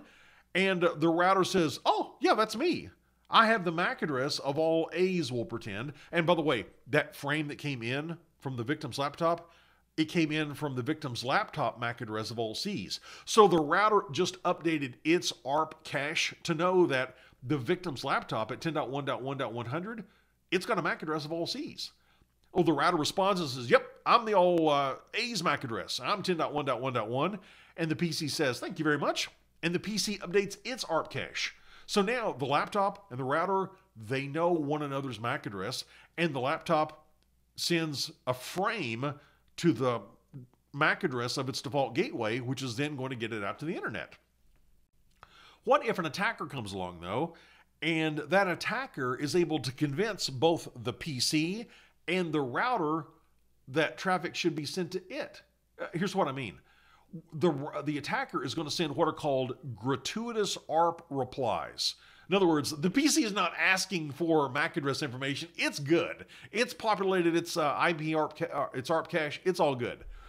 But the attacker sends unsolicited or gratuitous ARP replies saying, just like you to know that 10.1.1.1, it's got a MAC address of all B's. That's the MAC address of the attacker. And the victim's laptop gets that and says, oh, thanks so much. I was, I thought, it, silly me, I thought it was the all A's MAC address. Let me update my ARP cache to reflect that when I want to go to 10.1.1.1, I'm going to go to the all B's MAC address. So you see what just happened here? When the victim tries to go out to its default gateway, it's going to go to the attacker. Now, the attacker also wants to convince the router that it is the laptop. So it's going to send a gratuitous ARP to the router saying, uh, 10.1.1.100, that's me. I've got the all B's MAC address. And the router says, oh, thanks for the update, and it updates its ARP cache. So now by just lying about this, the attacker has uh, logically injected themselves into this path. And traffic going between the PC and the router, as you can see, it's flowing through the attacker's laptop, where they might be capturing traffic, they might be altering traffic. This is called an ARP poisoning attack. And I'm going to show you there's a feature that works hand in hand with uh, DHCP snooping called dynamic ARP inspection that can prevent this type of thing from happening. In fact, let's go out to a live interface right now. I'll make this full screen so you can see it a bit better. And here we're sitting on uh, switch SW1. That's the uh, Cisco Catalyst 2960 CG that I've been showing you throughout today's session. And let's set up these three features. First of all is port security. That's going to help us defend against that MAC flooding attack. It's going to help defend help defend us against the uh, DHCP starvation attack as well. What it does, it's going to limit the number of MAC addresses that can be learned off of a single interface. Let's go into global configuration mode. And let's just set up the first port on the switch. Let's go into interface gig 0 slash 1. And there's a requirement of a port to, uh, to do port security. That port must be an access port. So I'm going to say switch port mode access as opposed to dynamic or as opposed to trunk. It's going to be an access port. Now I can turn on port security with the command switch port port hyphen security. Now, with port security, we said that we could specify the maximum number of MAC addresses that are learnable off of a off of a single port. Let's set that to I don't know. I'll, sometimes we're running virtual machines. I, I, run a lot of virtual machines on my Mac. If I want to run like Microsoft Windows 11, for example, I like to give myself about four or five MAC addresses per port, just uh, just to account for things like that. So let's set, set this up to allow, let's say, four MAC addresses. I'll say switch port, port security, still in interface configuration mode, and I'll say maximum, t- um, no, let's say maximum four. I'll allow four MAC addresses to be learned. And now that we've said we're going to learn a maximum of four MAC addresses on this port, the next decision we have to make is what if a fifth MAC address shows up? How do we respond to that? Well, we've got options. We could say what our violation action is going to be. Uh, and I'll show you that in just a moment, but I want to show you something else first those maximum, uh, the maximum number of MAC addresses, do they have to be specific MAC addresses? Well, they could be. Let me show you. I could say switch port port hyphen security, and I could give a series of MAC addresses. I could say MAC hyphen address, and I could configure one MAC address. I could enter the command again to configure another one and another one and another one. I could. Con- that's a lot of work. I probably don't want to do that manually. What I could do instead is say sticky. If I say sticky, then it's going to dynamically learn the first four MAC addresses that it sees on this port, and it's going to put it in the running configuration. So later, after that's happened, maybe I come back the next day and and I save my configuration. It's the first four MAC addresses that were learned. So we'll we'll assume those are the four MAC uh, are the four MAC addresses that should be on this port. So we could manually configure them, we could sticky learn them, or we could just let whoever the first four are be the first or be the four that are allowed.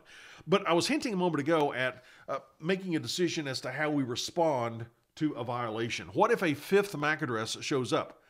Well, what's our violation options? Let's say switch port, port hyphen security, violation, and we have we've got three options: protect, restrict, and shutdown. First of all, let's let's talk about protect. Now, Protect says, in this case, I'm learning a maximum of four MAC addresses. If a fifth MAC address shows up and tries to send traffic into that switch, traffic coming from that fifth MAC address, we're going to drop traffic from it. Everybody else from the other four MAC addresses, we'll leave those undisturbed so that nothing gets inter- interrupted. We'll just block traffic from that fifth MAC address that shows up. The restriction, uh, restrict option is very, very similar to protect. With restrict, we're still going to drop frames coming from MAC address number five or, or MAC address number six.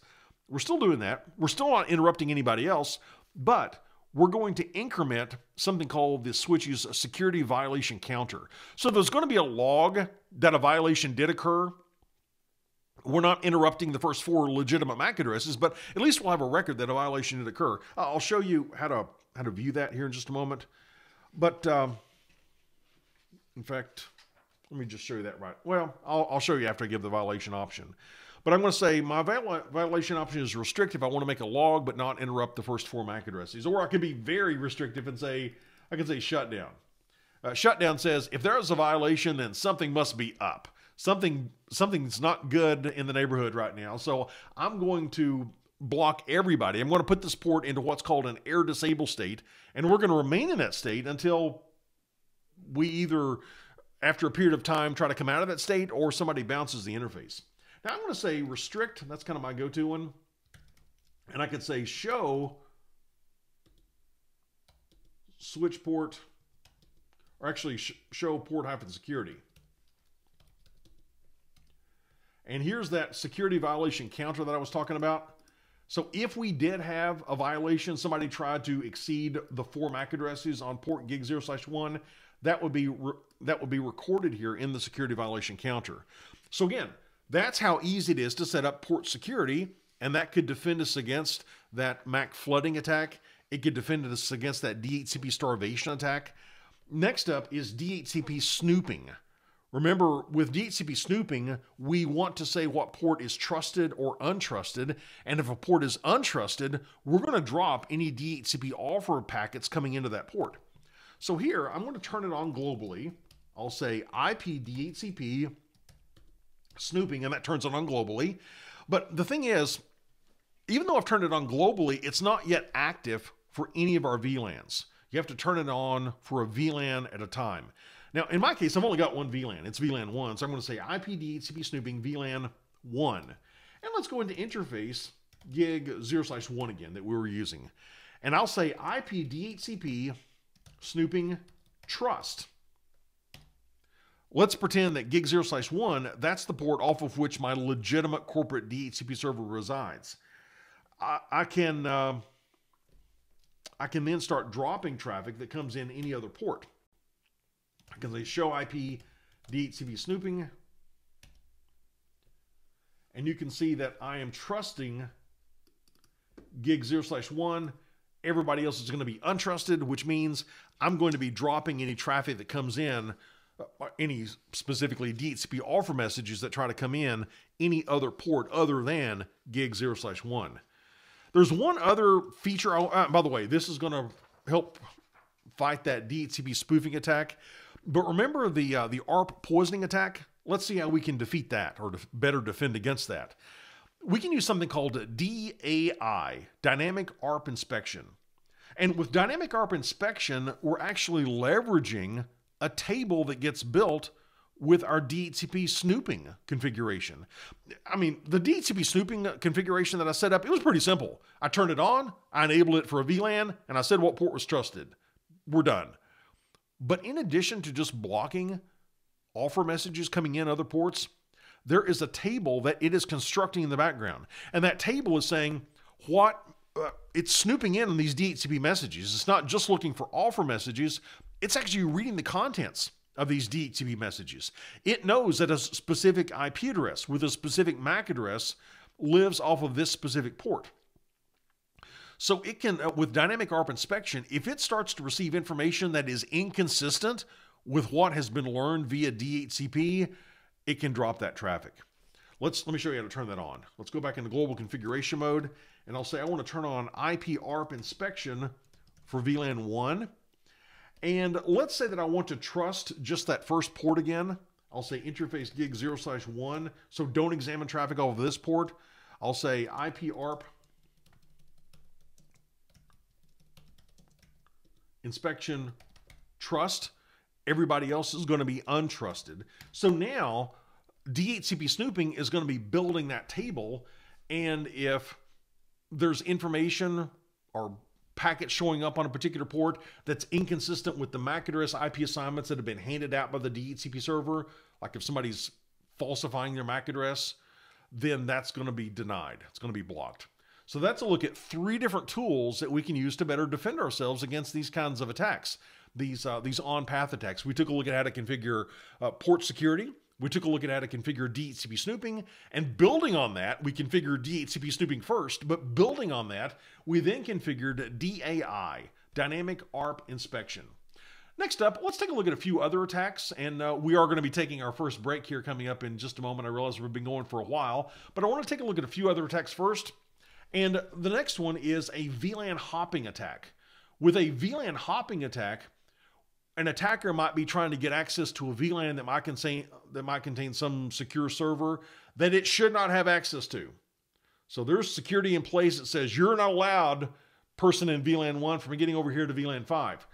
One way of getting access to a forbidden VLAN is to do switch spoofing. In other words, the attacker's machine it can pretend to be a switch. Do you remember the protocol that's used by a Cisco Catalyst switch to dynamically form a trunk? Go ahead and chat it in if you remember that. What protocol is used by a Cisco Catalyst switch that can dynamically form a trunk? And remember, a trunk by default allows traffic for all VLANs to flow over that trunk. Yeah, it's it's DTP, the Dynamic Trunk Protocol. Great job. The Dynamic Trunk Protocol. So using a tool, uh, using a tool like your Yersinia that's another that's one of those tools that's available in Kali Linux, or you can install it on other versions of Linux. But using your Yersinia, the attacker might send out DTP frames and convince switch one in this case that it's a switch. Switch one says, I'm talking to another switch. They just sent me a, a DTP advertisement. So we form a .1Q trunk over that switch, which gives me access to, to VLAN 5. I'll just tag my VLAN with, or tag my frame with uh, VLAN 5.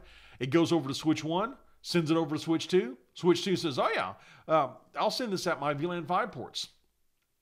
And we reach the victim. Another option is to do something called double tagging. So even if I'm not, uh, even if I'm not pretending to be a switch, maybe DTP is turned off on a particular port. For security, maybe we should. But we could do something, or the attacker could do something called double tagging if they know the native MAC, uh, the native VLAN, I should say, between switch SW1 and switch SW2. Remember on a .1Q what a native VLAN is on a .1Q trunk? A native VLAN is the one VLAN that does not get tagged. Now, by default, it's VLAN 1. But for every other VLAN, there's going to be four tag bytes added to every frame. And there are, uh, there are a few bits in those tag bytes that identify our VLAN membership, except for the VLAN that we distinct, uh, that we that we call our native VLAN. And again, by default, that's VLAN 1. So what if we did this? The attacker knows that the native VLAN between switch SW1 and SW2, uh, or they're making a guess that they left it at the default. We should probably change our native VLAN, but we're they might be assuming that uh, the default VLAN of one is being used. So what they'll do is they'll take their frame and they'll tag it with VLAN 5. That's the destination. We want to go to VLAN 5, and uh, that's where the victim lives. But we'll put another tag on the outside that says VLAN 1. So here's what happens this goes into switch SW1. It says, "Oh, I see you're you're tagged with VLAN 1." You know, that's actually a native VLAN on this port going over to switch SW2. So let me take that off. We don't we don't label VLAN 1 traffic. We don't add those uh, we don't add those four extra tag bytes. So now that exposes the VLAN 5 tag which does make it to the victim system. Now, in this case, unlike with switch spoofing, there's no return path. There's no way for the uh, if we if we try to get information from the victim, double tagging is not going to do do it for us. Double tagging can get us to that VLAN, but it's not going to allow return traffic to come back. Uh, so this might be used for a denial of service attack if we're trying to flood that victim system. The victim belongs to VLAN 5. We don't have access to VLAN 5. The attacker could double tag their frames, perhaps, if they can correctly determine the native VLAN between a couple of switches, and uh, they can start flooding that victim with lots and lots of traffic. Another very, very common type of attack is a social engineering attack. This is where somebody uses basically social skills to get information to uh, to get access to information they should not have access to. Uh, in fact, uh, one of my favorite, in fact, it is my favorite book talking about uh, hacking and uh, phone phreaking. it's uh, by Kevin Mitnick. I've got it on audio. I've listened to it. I don't know, maybe three times. It's called it's called Man in the Wires. No, or Ghost in the Wires. In fact, you know what? Let me look that up. I want to make sure I get that right. Yeah, I think it's Ghost in the Wires. Let me open this up really quick.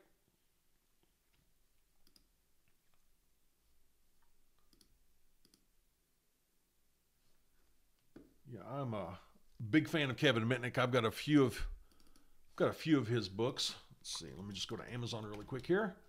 And let's say, I think it's Ghost in the Wires. Yeah, that's it. Ghost in the Wires. I would recommend that book if you want to just hear some real life war stories, if you will, from, uh, he was known as uh, the world's number one most wanted hacker for a while. He's turned good now. He's got a cybersecurity company, but uh, yeah, some really cool stories in there. The reason I thought of him was just a tremendous amount, uh, tremendous number of the attacks that he was able to carry out were based on social engineering. He would have good social skills and convince somebody to let him act, give him physical access to a room that he shouldn't have access to, or just so much was uh, given out uh, through social engineering techniques. One type of social engineering attack we see a lot is phishing. You might have received an email that said something like, uh, this is your bank and uh, we're going to reset your password or maybe it's your media or your social media service we're going to reset your password you go to log back in and they give you a link to go reset your password and you go to a page that looks like the bank's page but it's really not It's a page the attacker has, and they see you put in your old password, and suddenly they have your username and password information. That's phishing. We want to be very, very cautious about clicking on any links that come inside of an email. We should not be doing that. A physical, a way to get physical access to an environment might be through tailgating. Let's say that there's a secure door where people have to badge in, maybe to get into a data center, and uh, or maybe to get into a building. This is something that Kevin Mitnick would do uh, when he would get access to buildings. He would do something like this you could pretend to be a secure uh, or delivery driver carrying a big box. You pretend it's really heavy, and you see somebody going in, so you hop out of your car and you start carrying this box. You say, "Hey, buddy, can you hold the door for me?" Uh, and they, humans, they're good people. A lot of people are good, and just trying to help is our nature. So that, oh yeah, let me help. Uh, let me get that door for you, and they'll hold the door open while the malicious user walks in with this box containing nothing really, but they've got use of the, of, they've got access to the building. That's called piggybacking. Another way that we might do, or an attacker might do social engineering, is called uh, shoulder surfing. Here, they're they're looking over the shoulder of somebody, entering a password or keying in the pin. Now, personally, I'm probably not, I haven't practiced it for one thing, but if I'm looking at somebody typing a password on the keyboard, I don't know what they typed. But some people that have practiced this, they are really, really good. They can watch you type something and eight characters yeah, they know what you type just by watching your fingers on the keyboard. So you might want to be very cautious about who's around when you're entering password or, or PIN information, as an example. Another common type of attack is malware. Malware, it's it's different than a virus. Oftentimes, a, uh, a virus will be infected with a virus and it's going to maybe destroy things on our system. Malware could do that, or malware might be used for other purposes. I, I gave the a malware example earlier when we were talking about a DDoS attack with a distributed denial of service attack. We said we, maybe through uh, some sort of gaming app that people downloaded, we infected computers around the world with malware.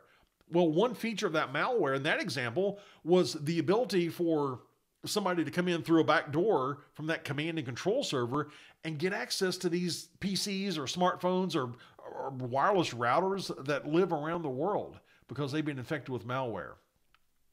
An attacker might also do DNS poisoning. If they can convince us to go to their DNS server, which they can if they're able to send us information from their DHCP server, uh, we can do D, uh, DNS poisoning where they're trying to go to a popular social media site, but instead they're redirected to our site, which looks like that social media site, and we capture their password information. A type of malware that's really, really ugly is ransomware a few years back, there was a really popular one on the news. It was called the the WannaCry virus. Uh, WannaCry made you want to cry because it would literally hold your data for ransom. You would get this big red screen that said the data on your computer has been encrypted, and it was. They weren't bluffing. They, they encrypted the data on your computer, and they said if you want to uh, if you want to unlock your data, we'll give you the key, but you need to send us this much this much Bitcoin. And it got so bad, people were, people were losing their data. They went to law enforcement.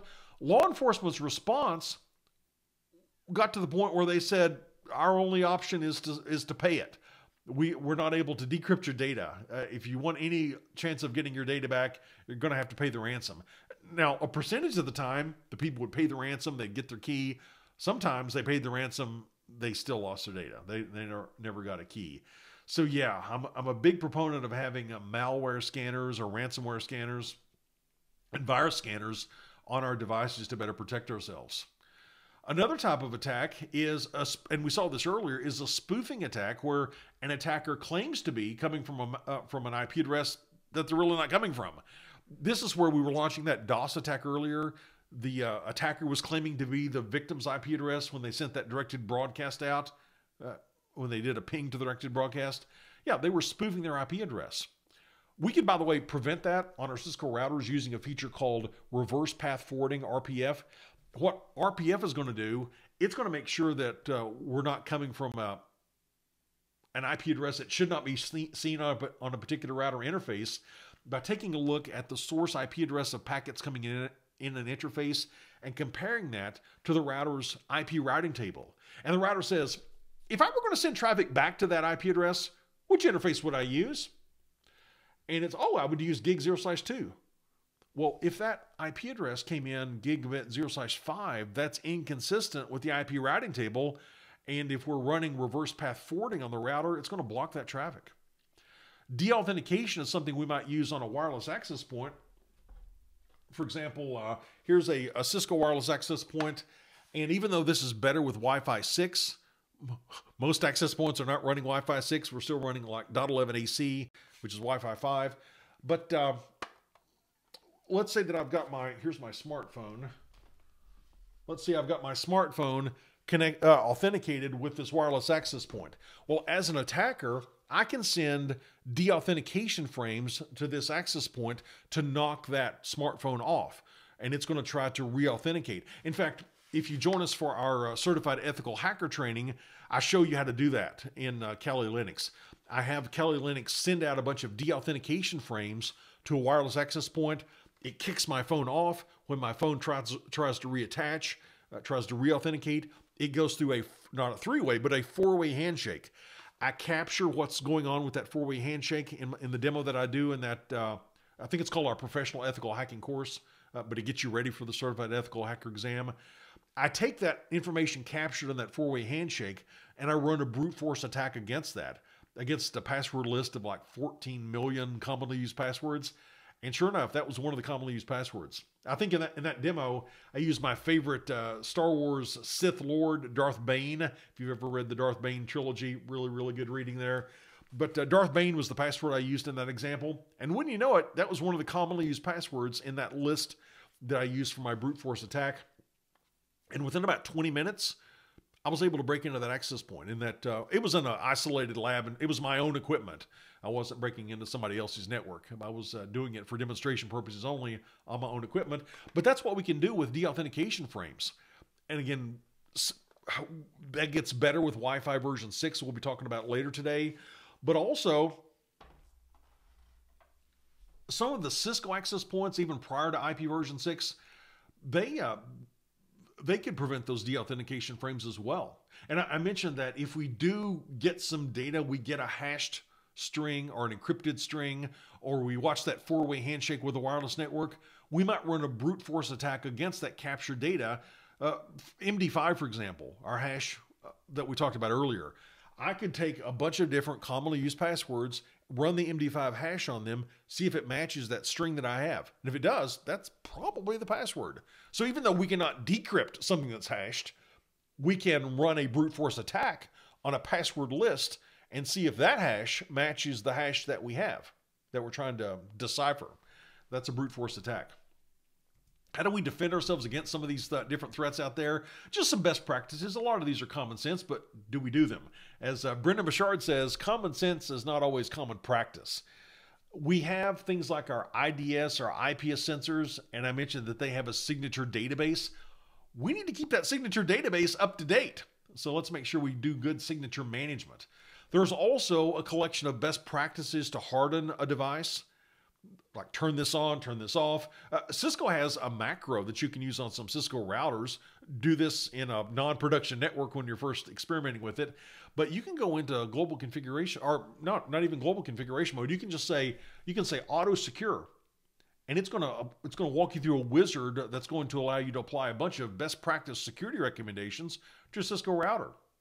We should also probably change the native VLAN. I showed you a VLAN hopping attack attack earlier that was predicated on the attacker knowing the uh, the, the native VLAN that was being used on a .1Q trunk. We should probably change that to something other than one. Maybe change it to 20 as an example. And something else we, we should do is not give users too much access to things they might not need access to. In other words, we want to define the privileges given out to different user accounts. And when we're talking about users, we might want to send users, if we're sending them, if they're downloading a file, instead of just downloading that file, we might want to also send them a, hash digest, or we might use HMAC to say, you should be able to calculate this same hash digest by running it on this file to make sure that file integrity has not been compromised. Somebody's not modified that file in transit. And when we're setting up users, let's give them different roles. Let's not give them more permission than they need. Uh, than they need. We could also protect our networks by installing distractions. We can install a server called a honeypot. And a honeypot is a server that's very weakly protected. So if an attacker is trying to scan our network looking for any weaknesses, they're likely to come upon this honeypot to say, "Oh, they've got these ports open. They're not. They don't have this update, uh, this patch applied to their operating system," and the attacker breaks into that honeypot system. Well, once they're in there exploring around, we have data that might look like it's important, but it's really not. It's not secure data. It's a distraction. While they're in there, number one, we can see what sort of tools the attacker is using to get into our network, so we can better defend against those those approaches. And also, we're just wasting their time. They're spending all their time looking through a meaningless system while we're watching them. And on a larger scale, you can have an entire network that's a distraction, and that's called a honey net. And something we mentioned earlier pen testing. It might be worth having somebody internal or somebody external do a penetration test on our network to define any weaknesses or identify any weaknesses. And I gave the university example earlier of segmenting our network up into different security zones. Yeah, maybe uh, in the university example, we want to protect students from the bad people on the internet, but we want to protect our faculty and staff from students who get curious and uh, try to get in and maybe change their grade is the classic thing you see in the in the movies. Some other ways that we might defend against uh, these attacks is to use what I talked about earlier. Cisco calls it defense in depth. I gave the metaphor of a, a blanket on a, a bunch of blankets on a cold winter's night we don't just install a firewall. We don't just install an IPS sensor. We don't just install malware detection uh, software. We do it all. We have overlapping layers of security. We want security in or defense in depth. And when we add it, we're talking about users again. When we add a user, we probably don't want to say, well, a, a user is going to have this default set of permissions. They can get to some things, but we'll have to give them extra permissions to get to other things. A lot of people in high security environments recommend using something called zero trust. When you add a new user, by default, they don't have used to a they don't have access to a default set of resources. They have access to zero resources. We don't trust them at all until we explicitly give them permission. And let's say that a user belongs to two different groups. This group is not allowed to get to this one server. This other gr- group is allowed to get to this one server. If we use the least privilege approach, the, the group that's most restrictive that's going to be the rule that's enforced. So even though the user belongs to these two groups and one group says, yes, you can get to the server with least privilege, we're not going to be able to get to the server because the user also belongs to a group that should not have access to that server. We also want to be able to authenticate our users and prove they are who they claim to be. And you can set up a, a database on a router, for example, or a switch where somebody's going to have to give a username and password to log into that switch but that's not very scalable. Uh, and if we had this on, let's say, 20 routers and we had somebody leave our networking department, uh, maybe we fired them, they know the password to our routers. We're going to have to go around and change it on all the routers. That's not scalable. So, what we can do instead is use AAA. Now, AAA, that's an acronym standing for Authentication, Authorization, and Accounting. Authentication is us proving we are who we claim to be like giving credentials. Authorization is asking what are we allowed to do once we get authenticated, and accounting is kind of keeping an audit trail. It's saying what did you do once you got logged in. This reminds me when I went to work at uh, Walt Disney World. At Walt Disney World, they have they had over 600 six, uh, Cisco routers and thousands of Cisco Catalyst switches. Well, they didn't want to give me a password, the enable secret password to 600 plus routers. What they did instead is they gave me an account on AAA server. I had a username and a password, and I was given authorization to access the routers once I got logged in. Then when I ended up leaving Disney, they didn't have to go reset the password on uh, on uh, 600 routers. It just deleted my account. So it's a lot more scalable in an enterprise environment. And there are two basic types of uh, AAA servers that you might run into. TACACS Plus servers and Radius servers. And on some exams, you might want to know the difference between these. First of all, TACACS Plus, the, the plus means it's a, it's a Cisco proprietary implementation of the industry standard TACACS. Radius, that is an industry standard. It's interesting that TACACS Plus is based on TCP, while Radius is based on UDP, and UDP is connectionless. If we drop a packet, it's not going to be retransmitted. Something to keep in mind there. And with TACACS Plus, the authentication, authorization, and accounting, they're treated as, as separate entities, separate workers doing those three separate jobs. With Radius, it's kind of all lumped together in one big thing. And with uh, with TACACS Plus, the server does not just authenticate the user, the user authenticates the server. So we know we're not talking to a rogue server. With Radius, it's only one way authentication. So I'm making a case that TACACS is, is better in a lot of cases, but there's still plenty of times when I'm going to be using Radius. Radius is often used in wireless networks to authenticate. Something else, TACACS is going to encrypt the entire packet, but Radius only encrypts the password that's being sent when we're giving our credentials. And uh, user authentication might be multi-factor authentication. With multi-factor authentication, it's more than just knowing a password. That would be single-factor authentication. It might be something we know, like a password, but it might be also something that we have, like some sort of a, a badge or a key card, or some sort of smart card. Maybe what a user is, biometric scanners. Or maybe it's where a user is based on geolocation. We can have geofencing or what they do. Uh, let me give an example with my with my smartphone. Maybe I have to know a pin to get into my phone. Or if I'm trying to go to uh, if I'm trying to go to let's say a bank for example or some other some other online account and I've got multi-factor authentication set up on that account in addition in addition to knowing a password I might have to give some sort of a code. I have uh, I have the Google Authenticator app on my phone and the Google Authenticator app comes up with a I think it's a six digit string for these different sites that I have passwords on and if I try to attach to one of these sites, in addition to giving a correct password, I've got just a few seconds to put in the six digit code that my authenticator app says that I'm that I need to use. So in other words, I have to have a phone with that app. So that's what a user has. What a user is, I can do facial ID. I can look at this and it's going to scan my the lidar sensor, it's going to scan my face and that's who I am. Or on my laptop, I've got a fingerprint scanner where a user is. Yeah, I've got GPS on my phone. Uh, could I don't think I have a system like this right now that I'm using, but we could restrict people to only using a service. Well, I'll, give you a perfect example.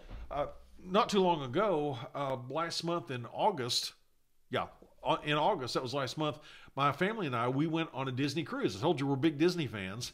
And uh, we went on the new ship, the Wish. Well, when you're getting on uh, when you're getting on the Wish, once you're there, you're able to get access to resources that you wouldn't have access to off uh, off of the ship. So when you go to the app, it says, "Oh, we see you're on board," or "We see you're not on board." Uh, basically, in that case, it's not so much geolocation; it's more getting on their Wi-Fi network. But as an example, uh, one of the things that's hard to get on the Wish is access to their Star Wars lounge. It's called the Hyperspace Lounge, and uh, reservations go really, really quick. So as, as, soon as we got through security and we got into the terminal, I, as soon as we're geolocated next to the ship, I'm able to get on their access point and I'm able to make our uh, we're able to make reservations for the whole family to go into the hyperspace lounge, which is really cool by the way. Check out their five thousand dollar Kyber crystal drink. That's a whole nother story. But uh, yeah, it could be you only have access to certain resources based on where you're located, or maybe what a user does. On, on some devices, you have to give like draw a star or make some sort of pattern with your finger, maybe on a keypad or on a touch screen, uh, to uh, to prove you are who you claim to be. And one security acronym or, or standard you'll hear a lot about is 802.1x. This can be this is used a lot with wireless networks in, in enterprises. It can also be used with wired networks. Basically, a user is having to authenticate before they get access to a network. So we could set this up on a switch or we can set this up on a wireless access point. Network access control takes it a bit further. It check it does what's called posture validation. It checks the uh, the PC or the phone. It checks the device to make sure that, for example, its operating system has a certain patch applied, or the antiversion or the antivirus software is running a certain version. We make sure that that the that the device that about to be introduced to our network has a sufficient level of protection. And if they do, they're allowed on the network. If they don't, they're not going to be allowed on the network. We might filter MAC addresses. So somebody brings in a rogue machine, we don't let them get on our network. Or maybe we have a captive portal. This is um, this is what you oftentimes see in a uh, in a hotel or maybe on a plane. If I'm flying uh, Delta, they have their uh, they have their the Delta Wi-Fi that you connect to. So you get on the Wi-Fi on the plane, and when you try to go to a website, not so fast. You have to go to their captive captive portal. They redirect you to one of their pages where you can pay for access to the internet. Or in a hotel, you might get uh, a page that says, "Give me your last name and your room number." If that matches their database, then you're allowed to get uh, you're allowed to get on the network.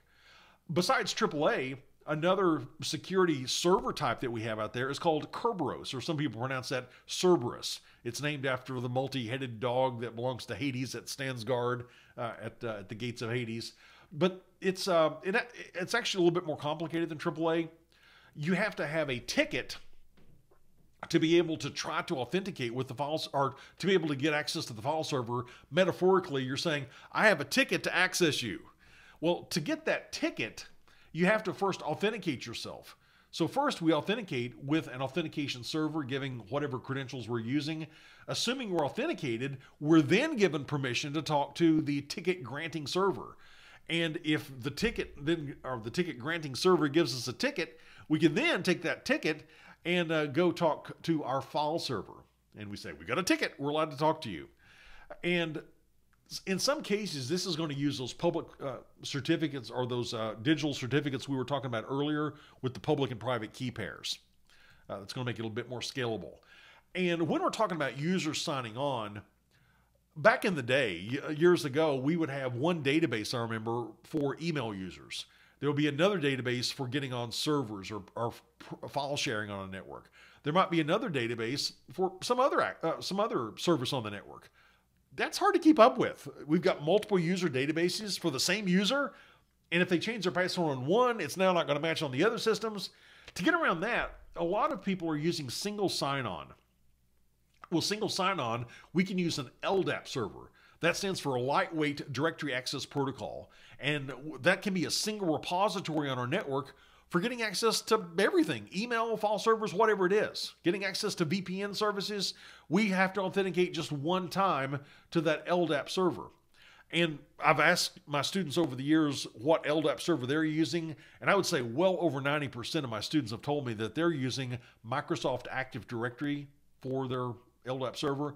By the way, I've got a video on YouTube if, if you'd like to see how to set up for free, just in a test environment, uh, Microsoft Active Directory. You can just search I think Kevin Wallace Active Directory, and it should show up if you want to see how that is set up. And IP phones, I said I do a lot in the collaboration world. Yeah, IP phones, they can use those LDAP servers too. And that's a look at some common network attacks and common defenses to protect against those attacks. Here in module number four, we want to talk about some different aspects of how we can better secure these things. There are wireless access points. So when we uh, communicate from, let's see, here's my here's a wireless tablet. If I'm communicating and somebody were to intercept that communication, we want to make sure they're not able to read it. We've got basically the same sort of goals that we had as we talked about earlier. We want things to be confidential. We don't want somebody to gain access to a wireless network if they should not have access to that wireless network. And that's going to be our focus. First, let's consider some different threats that we might have in the wireless environment. One is where somebody comes into an environment and they turn on the radio in their laptop, for example, and they just start scanning the airwaves to see what's out there. This is sometimes called passive footprinting. They're not actively sending any traffic out and trying to do malicious things. They're just sitting back and watching and listening and understanding the terrain of the wireless network. What are the access points? What are the MAC addresses or the BSSIDs? of the different access points, what channels are being used, and by get, gathering that footprinting information, they might formulate an attack that they want to launch. They could also do active footprinting. This is where they're still trying to get a lay of the land, if you will, but they're proactively sending traffic to an access point and getting replies from that access point to try to speed things up a little bit. We might also have an attacker that uh, spoofs their MAC address. Maybe we have wireless security set up that specific MAC addresses can get on the network and other MAC addresses cannot get on the network. Well, the attacker might set things up such that they're lying about their IP address. Earlier today, we talked about spoofing an IP address. Well, they could be spoofing their MAC address. And if they see that a user is going to an access point and they sniff that traffic, they say, oh, this user has this MAC address on their wireless network card. Well, I'm going to say that I have that MAC address now. I saw the user had the old A's MAC address. I'm going to say I have the old A's MAC address, and then if we're using MAC address based security, the attacker is going to be able to get on the network. Something else they might do is to in insert their own rogue access point. They might hide it behind a, a, desk or something where it's not obvious, but they get, or maybe a wiring closet, but they get connectivity into the corporate network, and then they can go somewhere else unnoticed and get access to that wired network. Maybe they're in their car out in the parking lot, but they put that access point up on the second floor and they can still reach that from their car. Yeah, they've inserted a rogue access point, giving them another way in to try to, to do dastardly things on the network. Uh, they might insert a wireless access point and have that wireless access point claim that its SSID is the same as the corporate SSID. That way, when somebody goes to join the network and they see that they're trying to join the network of XYZ Corp, well, they might uh, they might say, "Oh, yeah, there's my network. I'm going to join that." And a percentage of the time, they're going to be connecting to this evil twin that's advertising the very same SSID as the legitimate corporate network. So, what we might do, or what an attacker might do, is to send deauthentication frames to that access point to knock off legitimate users, forcing them to re authenticate and retry to get back on the network. And a percentage of the time, you guessed it, they're going to be connecting not to the actual corporate access point, they're going to be connecting to our evil twin and become associated with that, where the attacker can then capture those frames. we talked earlier about uh, deauthentication, where we could also capture that four way handshake. That's another deauthentication threat and we could run a brute force attack against that four-way handshake and determine what the password is for a user. They might also try to hijack an existing session. Session hijacking is going to be where somebody is already authenticated with an access point. They've already provided their username and password credentials or whatever they're providing. And since they're already at that point, the attacker might just hijack that existing session instead of trying to figure out what the password is on their own. And one thing that we can do is better protect and better secure our access points. We don't want to be using default passwords. We don't want to say Linksys Linksys, for example, in our in our home router as the username password combination. We want to use strong security standards, strong passwords. We'll be talking about those in this module. But in addition to wireless hacking in the Wi Fi context, we also have Bluetooth hacking. I showed you earlier this uh, little Ubertooth 1 adapter this is something that lets me communicate from my PC using Bluetooth. And in that uh, professional ethical hacking course I was telling you about, I actually do a demonstration where I have this plugged into a machine running Kali Linux and I'm sniffing the Bluetooth environment around me. And uh, to my surprise, it picked up my uh, my my Ember coffee mug. I've got a coffee mug in my kitchen that uh, can be controlled with an app where it keeps the temperature at a certain level and I was able to detect that showing up on Bluetooth. So Bluetooth hacking, uh, there are a few different a few different flavors of Bluetooth hacking, and we'll talk about some of those.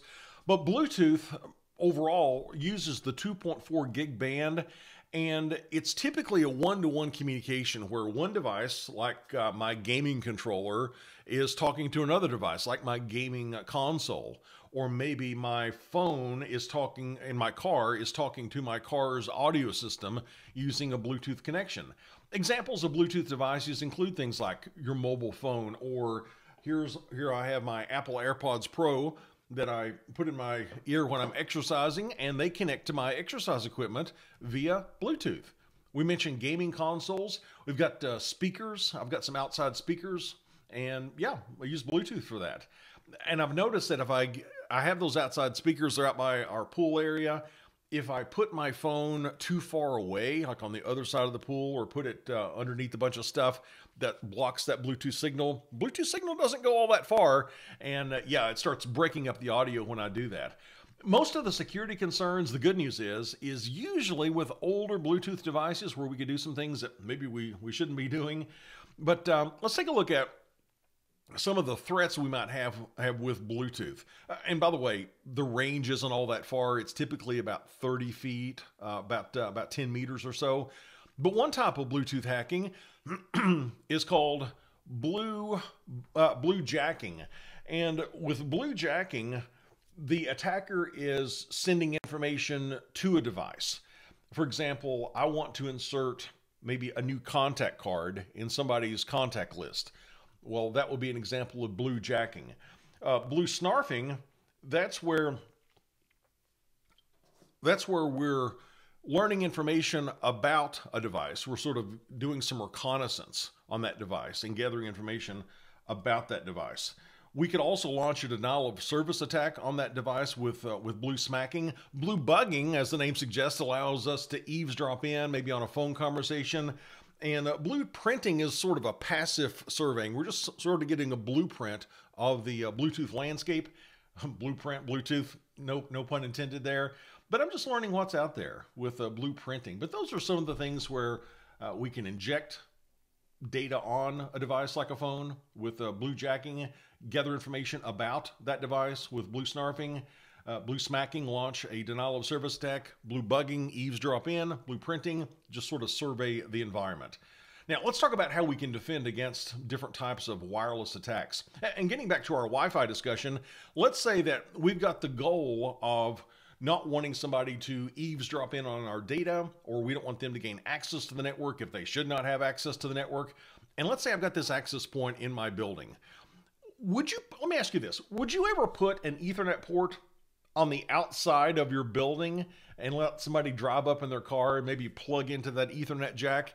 No, that I would not be secure with it. But that's essentially what we're doing if we have a weakly secured and poorly placed access point where the signal might extend out into the parking lot. Somebody could drive up and they could get access to, to the corporate network. To prevent that, we might want to reposition the access point. We might want to reduce its power level so the coverage area doesn't have as, as big of a radius. But we want to make sure that somebody's going to have to authenticate themselves before they can gain access to the network, more than just having access to the signal. And once we're transmitting data on the network, if somebody were to eavesdrop in and capture that data, we don't want them to be able to do anything with that. So we want to encrypt it, much like we talked about earlier. And there are several different wireless security standards out there. Let's go back to the original one. Uh, the original security standard for for wireless networks back at uh, back in the original 802.11 specification was something called WEP. That stands for Wired Equivalent Privacy. Now, the name is a bit misleading, I think. Wired equivalent privacy to me sounds like we're saying this is equivalent to being on a wired network. That's the level of privacy you get. Poppycock. It is not anywhere near the level of privacy you get on a wired network. In fact, this is a very, very weak security standard. It uses the RC4 encryption algorithm, and that stands for Ron's code 4. And the issue isn't with Ron's code 4, it's the issue with how it's implemented. You see, RC4 is going to take the string of data that we're trying to secure, it's going to take our pre shared key, and it's going to take something called an initialization vector, an IV, and it's going to mathematically mush all that stuff together. Again, the string we're trying to encrypt, the pre-shared key, and the initialization vector. And the problem with RC4 is it uses a very short initialization vector. It's only 24 bits long. And that might sound like a lot, but um, you can, in an environment with a decent amount of traffic on a WEP network, if you capture traffic for about eight minutes, there are utilities out on the internet that can uh, take those captured packets and determine what the pre-shared key is in about eight minutes. That is just that just blows my mind. Now that was with a pre-shared key. Remember earlier we talked about having a symmetric key. That's kind of what a pre-shared key is. We go to the client, we go to the access point, and we give them both the same key. So if you want to add a new device to your wireless network, somebody gets a new phone, you put in the pre-shared key that everybody uses, and that pre-shared key is going to be used with whatever encryption algorithm we use to encrypt the data. Again, this is not going to scale very well. If we had an enterprise environment with hundreds or maybe thousands of users, we don't want to give everybody the pre-shared key. That could uh, that could get lost, or somebody might give that away. That's not a good thing. So, in a large environment, we want to use not the pre-shared key or personal mode. We want to use something called enterprise mode. Here we have an authentication server, like typically a Radius server. We talked about Radius earlier. And this is really 802.1x that we mentioned. 802.1x, which we could use with a switch or we could use with an access point, it's got really three roles that are played here.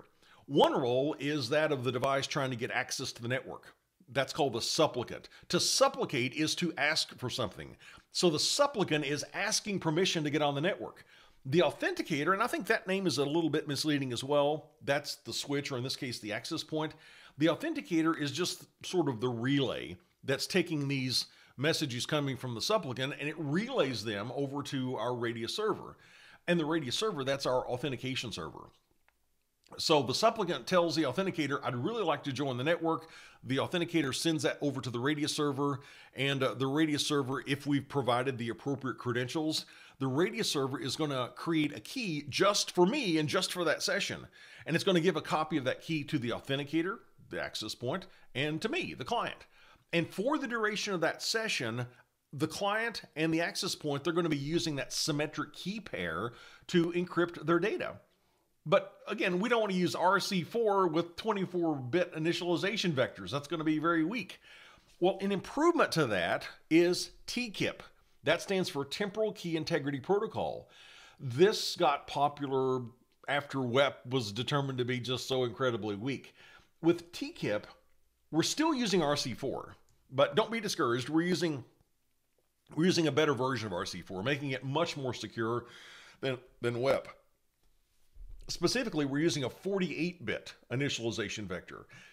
Now you might say, well, we went from 24 to 48. Does that mean we're twice as secure now? It's going to take 16 minutes instead of 8 to break into the network? Not at all. You see, when we go from 24 bits to 25 bits, that doubles the security. We go to 26 bits, that doubles it again. So if we go from 24 to 48 bits, we are orders of magnitude more secure than we were before. And TKIP does not require a great deal of processing on the on the part of the wireless network card.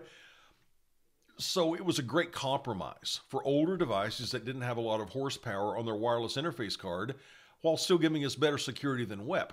But remember we mentioned AES earlier? I said that's really the flagship encryption algorithm that we want to be using today. Yeah, it's better if we use AES. That's going to be better than TKIP and just insanely better than uh, than WEP was. But AES does take some extra horsepower. It takes some extra processor cycles for the clients or the access points or any wireless device to, to process that encryption. So when you're setting up your access point, you may be presented with a set of security standards. WPA, WPA2, and WPA3. Now, WPA, that stands for Wi-Fi Protected Access. And the original w, uh, WPA, it did use TKIP. That was good in that it supported some older devices that didn't have a lot of processing power, but it was better than WEP. So we got to preserve our investment in existing hardware. And remember, TKIP uses that better initialization vector, 48 bits as opposed to 24 bits. But still, it's TKIP. It's still weaker, far weaker than AES. So Wi-Fi uh, or Wi-Fi protected access or WPA2 came out, and for over for about a decade or so, that was the end all be all of wireless security standards. You're setting up an access point, you better use WPA2. In fact, the Wi-Fi Alliance that allows vendors to put the Wi-Fi sticker on their device, in 2006 they said it's a requirement if you're going to uh, if you're going to be certified with the Wi-Fi Alliance, your WPA2 must uh, or your device must support WPA2. So they're pretty serious about this. And a requirement for WPA2 was that it had to support AES, that better encryption standard. But notice the wording here it had to support AES. It didn't necessarily mean we had to run AES. And this could vary depending on our hardware, the vendor. But in some cases, you could be running WPA2, but you said, I've got all these old devices. I don't want to have to have to run AES. My devices can't, cannot handle it. Well, on some systems, you could tell WPA2 not to use AES, even though it could support it, and use TKIP instead. Or you could say just use AES, or you could say use either one. Let the client decide which one we're going to be using. But AES, it does require more processing power than WPA. But but over the years, I mean, this has been out for a while. Over the years, more people get more and more modern hardware with better processing.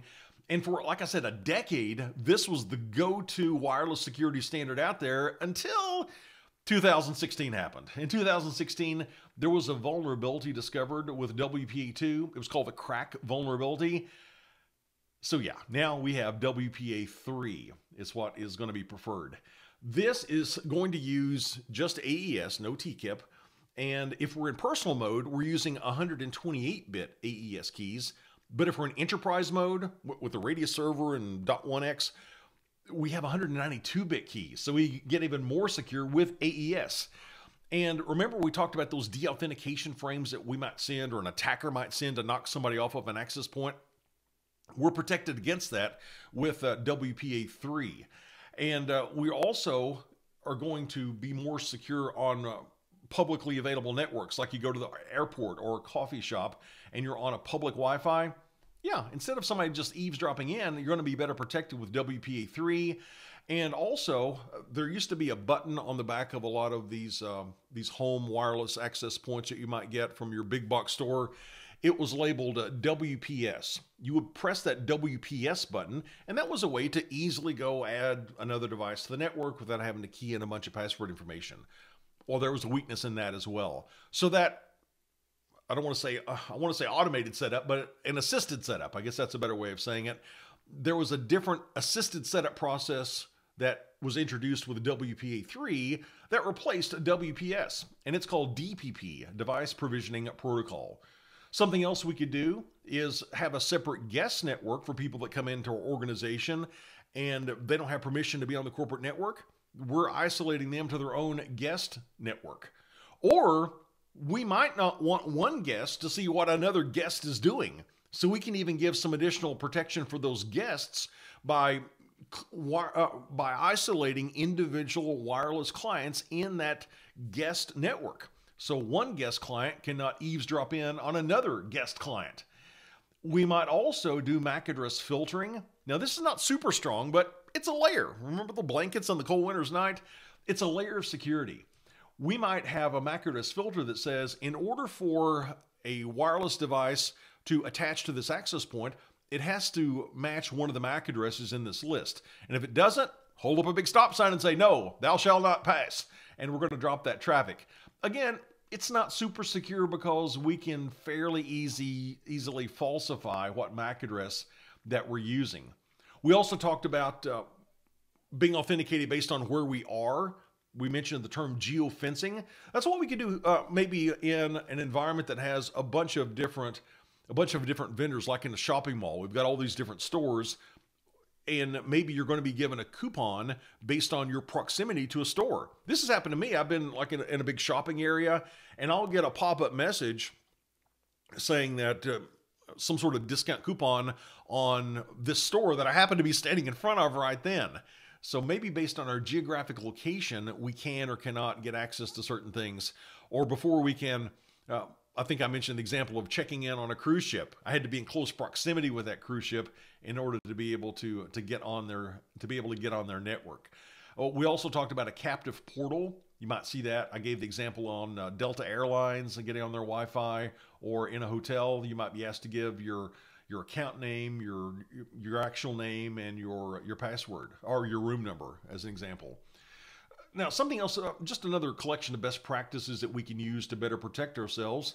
Let's not use the default wireless network names that come with our that come with our access points, such as Linksys used to be the one. I think they've changed it since then. But you would go down and you buy a router from a big box store, and it was Linksys, and the password was Linksys or admin admin or manager manager or something like that and, and that, those were well known. So it was very easy for people to get into equipment that had those default credentials. So let's change up the default wireless network names, the SSIDs. Let's change up the default username and passwords. In fact, again, this is not a high level of security, but it's a layer. We might disable our SSID broadcasts. We might not even announce that this network is available. Now, say it's not a super high level of security because somebody, an attacker that's knowledgeable, they would be able to sniff the airwaves and they would still be able to see that SSID even if it was not being broadcasts. And we talked about earlier how an attacker might introduce a rogue access point into the network. Well, there are there are scanners that a lot of the major enterprise level wire, uh, wireless uh, enterprise level vendors have that will scan the network. Cisco does this uh, that can detect wireless ex- or rogue wireless access points, so you can locate and, and disable those. And you might want to, as part of that, you might want to make sure that you don't have any access points that have a vendor code that's different than the vendor you're using. If somebody inserts uh, vendor X's access point into the network, that might be one way that we're scanning for rogue access points. We're scanning the first half of the MAC address, the vendor code, to make sure we don't have some strange vendor's access point in our network. And let's use strong encryption strong authentication, at least WPA2, preferably WPA3 if we can. Other things we can do, we could use wireless intrusion prevention system sensors. That's right. Uh, what this might do is it could detect those evil twins where somebody is uh, advertising the same network as the corporate network. It's going to try to detect somebody doing a wireless denial of service or a main in the middle or an on path attack. It can collect and analyze data, gives, give us a lot of analytics. Some examples of wireless IPS systems include Aruba's RF Protect Wireless IPS, and Cisco has one called the Cisco Adaptive Wireless APS, or excuse me, IPS. And that's a high level overview of some things we can do to better secure our wireless networks. Now, up next, I want to talk about session hijacking, and I've hinted at this a couple of times already. With session hijacking, where the attacker is letting the user go ahead and authenticate with whatever the target system is. So once they've uh, so once we've bypassed that authentication stage, the attacker just takes over that existing session. They don't have to authenticate because the user already did that, and we just hijacked their session. Now that's an uh, that's an active attack where we're going to take over uh, a session from a user, or we might do a passive attack. Here we're monitoring traffic in a session but we're not really interrupting the flow, but we've still hijacked the session. We're, we're making the session flow through us as the attacker, and we're monitoring it, even though we're not raising any red flags, we're not disturbing anything. So active and passive. So after the session is established, there is oftentimes a, a, a, session ID that identifies the session. And in some cases, it depends on the implementation, but in some cases, if the attacker knows the session ID, they can join that session. They say, here's my session ID, let me in. And they get to be part of that session because they have, uh, they've, they've learned that session ID. So after the authentication happens, the attacker joins the network. They figure out the session ID, and we'll talk about ways of figuring out the session ID. And then they can be part of the session and they can establish a new session using that session ID there is application level session hijacking. And at the application level, this is often uh, web attacks using HTTP or HTTPS. And this is typically going to use those session IDs we talked about. There's also network level hijacking. Here, we're more concerned with uh, TCP and UDP, things down at the, at the transport and uh, network levels. And this is usually going to involve intercepting packets, not just finding out a session ID. Now, when I say session ID, I'm talking about something that's going to uniquely identify a, a session. So it's going to be used for TCP because that's a, a connection oriented protocol. It's not going to be used for UDP, which is connectionless. And it's usually going to be this big long string of seeming, seemingly random alphanumeric characters. So let's think about how does the attacker get a session ID and inject themselves in that session? So they can launch something like a, a man in the middle attack where the traffic starts flowing through the attacker on the way from the user to the server. Well, one thing is they could use a man in the browser attack. A man in the browser attack is where there's some sort of a Trojan horse that's added to the browser software on the user's system. And then when they try to, let's say, use that browser and go to their bank, that Trojan horse software is going to redirect that down to the attacker. Uh, they go to that website and maybe they want to transfer $1,000 from their checking account to their savings account, but that Trojan horse in the browser software forces the traffic through the attacker's machine. And the attacker says, let me change that up a little bit. Let's transfer $5,000 from your account to my account. And uh, then they can send the confirmation back to the user saying everything's good and dandy, when in reality, they just lost $5,000 and it's been transferred to the attacker. Sometimes session IDs are handed out in a somewhat predictable manner, and uh, an attacker might be able to guess what session ID that you're going to be using. if they sniff multiple sessions, they might be able to run some uh, some algorithms to determine or to estimate what do you think the next one's going to be. Let's see how you do on this one. Let's say the first session ID is ABC102, the next session ID is ABC104, and the next session ID is ABC108. Given that information, would you be able to guess the next session ID? Go ahead and chat it in. What do you think it might be? Uh, obviously, I'm not being terribly secure here. This uh, secure here. This is just a, a, simple example.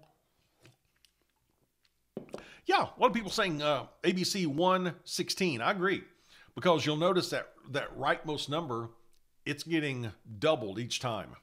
So two doubled is four, four doubled is eight, eight doubled, yeah, that's going to be 16. That might be the next session key. They might also, the attacker might also sniff the the packets in a session that gets established that has all the right information in it, and then they come back later and uh, using those packets that they capture, they're able to uh, using the session ID found in those captured packets, they're able to use that same session key as if the session were still going on, assuming the user has walked away from their computer. We still got their session ID, the session's still active on from the perspective of the server, the attacker just kind of takes it over. Now, session fixation. Here, the attacker is going to initiate the connection with the server. They say, I'd like to set up a secure session. And uh, the server says, all right, here's the session ID that we're going to be using, but not so fast. You're still going to have to authenticate yourself. So the attacker says, okay, I'll get back with you. And the attacker takes the session ID that it just got from the server, and then it's going to send a link, maybe in an email, maybe a text or something to the user saying, you need to reset your password, go to this link. And that link connects the user with the server using the session ID provided by the attacker. So once the user authenticates with the server using that session ID, you guessed it, the attacker is now authenticated with the server because they already they had the session ID initially, so they get access to the server. Cross-site scripting you may have heard of. This is where a user is going to have a, a link that they click on that maybe comes in an email and this is going to be a malicious link that causes a valid session ID that the user is using. It's going to send that session ID down to the attacker. And the attacker again can use that session ID to talk to the server. That's similar to cross site request forgery. Here, instead of getting a, an email with uh, some sort of malicious code in it, there's going to be some malicious code installed on a site that the user connects to. And when they click on a link on the site, similar similar to the cross-site scripting, it's going to cause the uh, the user to send that session key uh, session key uh, to uh, to a website uh, that's controlled by the attacker. Actually, I said that backwards. I got ahead of myself. Excuse me. We're uh, the we get the we get the user to authentic or we get the user to visit the attacker's website and the malicious code on that website, that's what extracts the session ID. I said that backwards, pardon me. And that's going to be given to the attacker then, and then the attacker can use that session ID to communicate with the server. Next, let's consider network level hijacking. Network level hijacking is hijacking TCP and IP sessions. We can do a reset, we can uh, be dealing with encrypted traffic that we cannot even interpret, but we can hijack it anyway. It's called blind hijacking. And UDP hijacking is almost a misnomer because UDP is connectionless. We're not really setting up a session, but we can still do something called UDP hijacking. We'll talk about it in just a moment. But here with TCP hijacking, you remember the whole back and forth, uh, the SYN, the SYN-ACK, and the ACK is the three-way handshake. Well, in addition to that, there's an initial uh, an initial sequence number that's given, an ISN and uh, that's sent back with the SYN-ACK. And the user responds with that number plus one.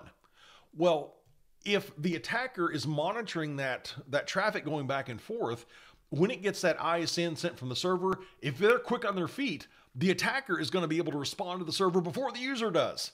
And they're going to get that session set up rather than the legitimate user.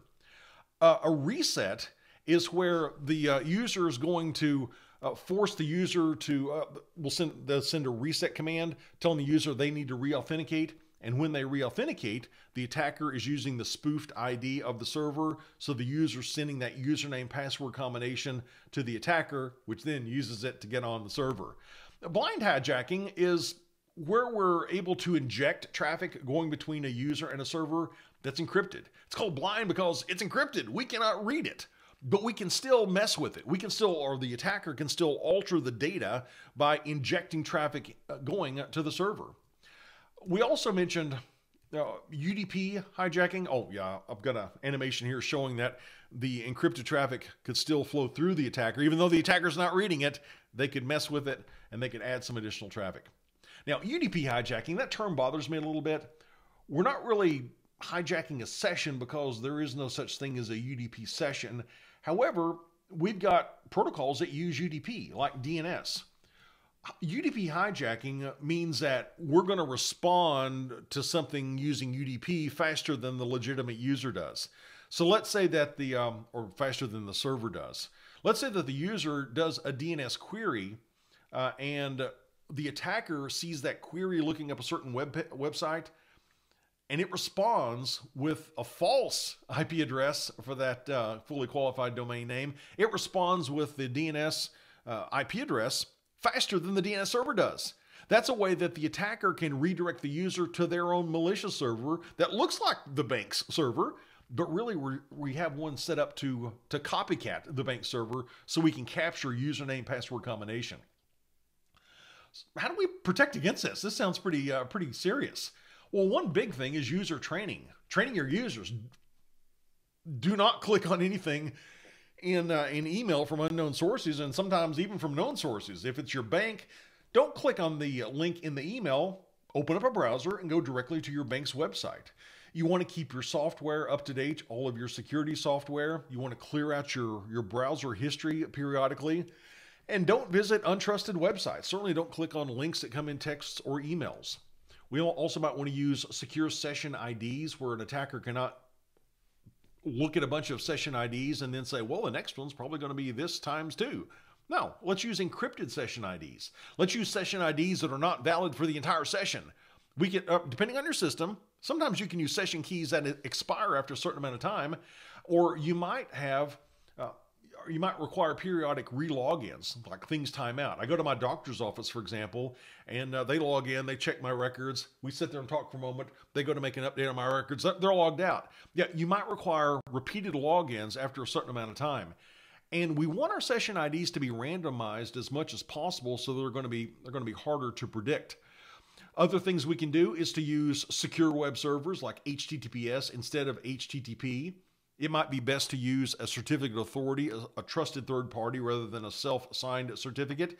Sometimes you'll look at a URL, you'll do a copy paste of a URL into Notepad or something, and you'll see this big long string, and you'll think, what is all this gibberish? It's a session ID. Let's not use session IDs that show up in the URL. That could be really bad. Let's keep our security patches up to date. And let's just do basic network security like we talked about earlier. I showed you how to set all these up the port security, the DHCP snooping, and uh, the IP ARP inspection. What else can we do? Well, as already mentioned, let's use secure protocols like HTTP instead of HTTPS. Let's use uh, secure FTP or FTP secure, oh, and uh, let's use um, let's do that instead of FTP. Let's use SSH instead of Telnet. Uh, let's use IPsec instead of GRE as a couple of examples. And we might want to use an IPsec VPN tunnel. So if I'm going across an untrusted network like the internet, if anybody on the big untrusted internet captures my packets, they're not going to be able to do anything with them because it's all scrambled up thanks to IPsec. And we'll be talking about IPsec and VPNs at the very end of today's session, by the way. But that's a look at session hijacking. And now we're going to get into Module 6, and we hinted at this earlier. We're talking about physically securing our network gear so that somebody doesn't walk off with it or alter it or somehow compromise it or break into it. And one of the things we're concerned with is detecting an intruder, like the old video game, intruder alert, intruder alert. And one thing we can do, pretty basic these days, we even have it in our homes a lot of times. Intrude, uh, we can have motion detection, motion detection system sensors uh, to uh, to detect any motion. We can have our passive RFID tags put on as inventory tags on our equipment, and we can have portals around doorways. So if somebody carries a piece of equipment with one of these inventory tags on it, it sets off an alert or gives a notification. We can have video surveillance in uh, in the old movies where people are breaking into a casino or something. Uh, or a bank, they might have a video that they loop and they, they play on replay. Not as easy to do that with IP cameras. So if we have IP based video surveillance, that's going to go a long way towards physically securing our, our equipment. We can also have something that's going to give evidence of any tampering. You can get these uh, these sort of metallic stickers or even wire ties that that you can close a computer chassis together with, maybe in a server farm or data center. And if somebody were to open it up to try to insert something in it or take out a drive or something, it's going to be evident. Uh, it's going to there's going to be evidence that they tampered with it because that seal is going to be uh, broken or it'll look stretched or it'll give some evidence of it, or that maybe that wire tie is broken, as an example. To prevent people from accessing these areas, I think it's a great idea to have people badge in to areas, uh, maybe use something like a, a fingerprint scanner, a retinal scanner, and make sure your users are trained on what to watch out for. If maybe in front of a data center, you don't want somebody to wander through and get into a data center by piggybacking on somebody else. Remember before we said, I'm carrying this box. Can you hold the door for me while I go through the door? And uh, somebody might let you in the door.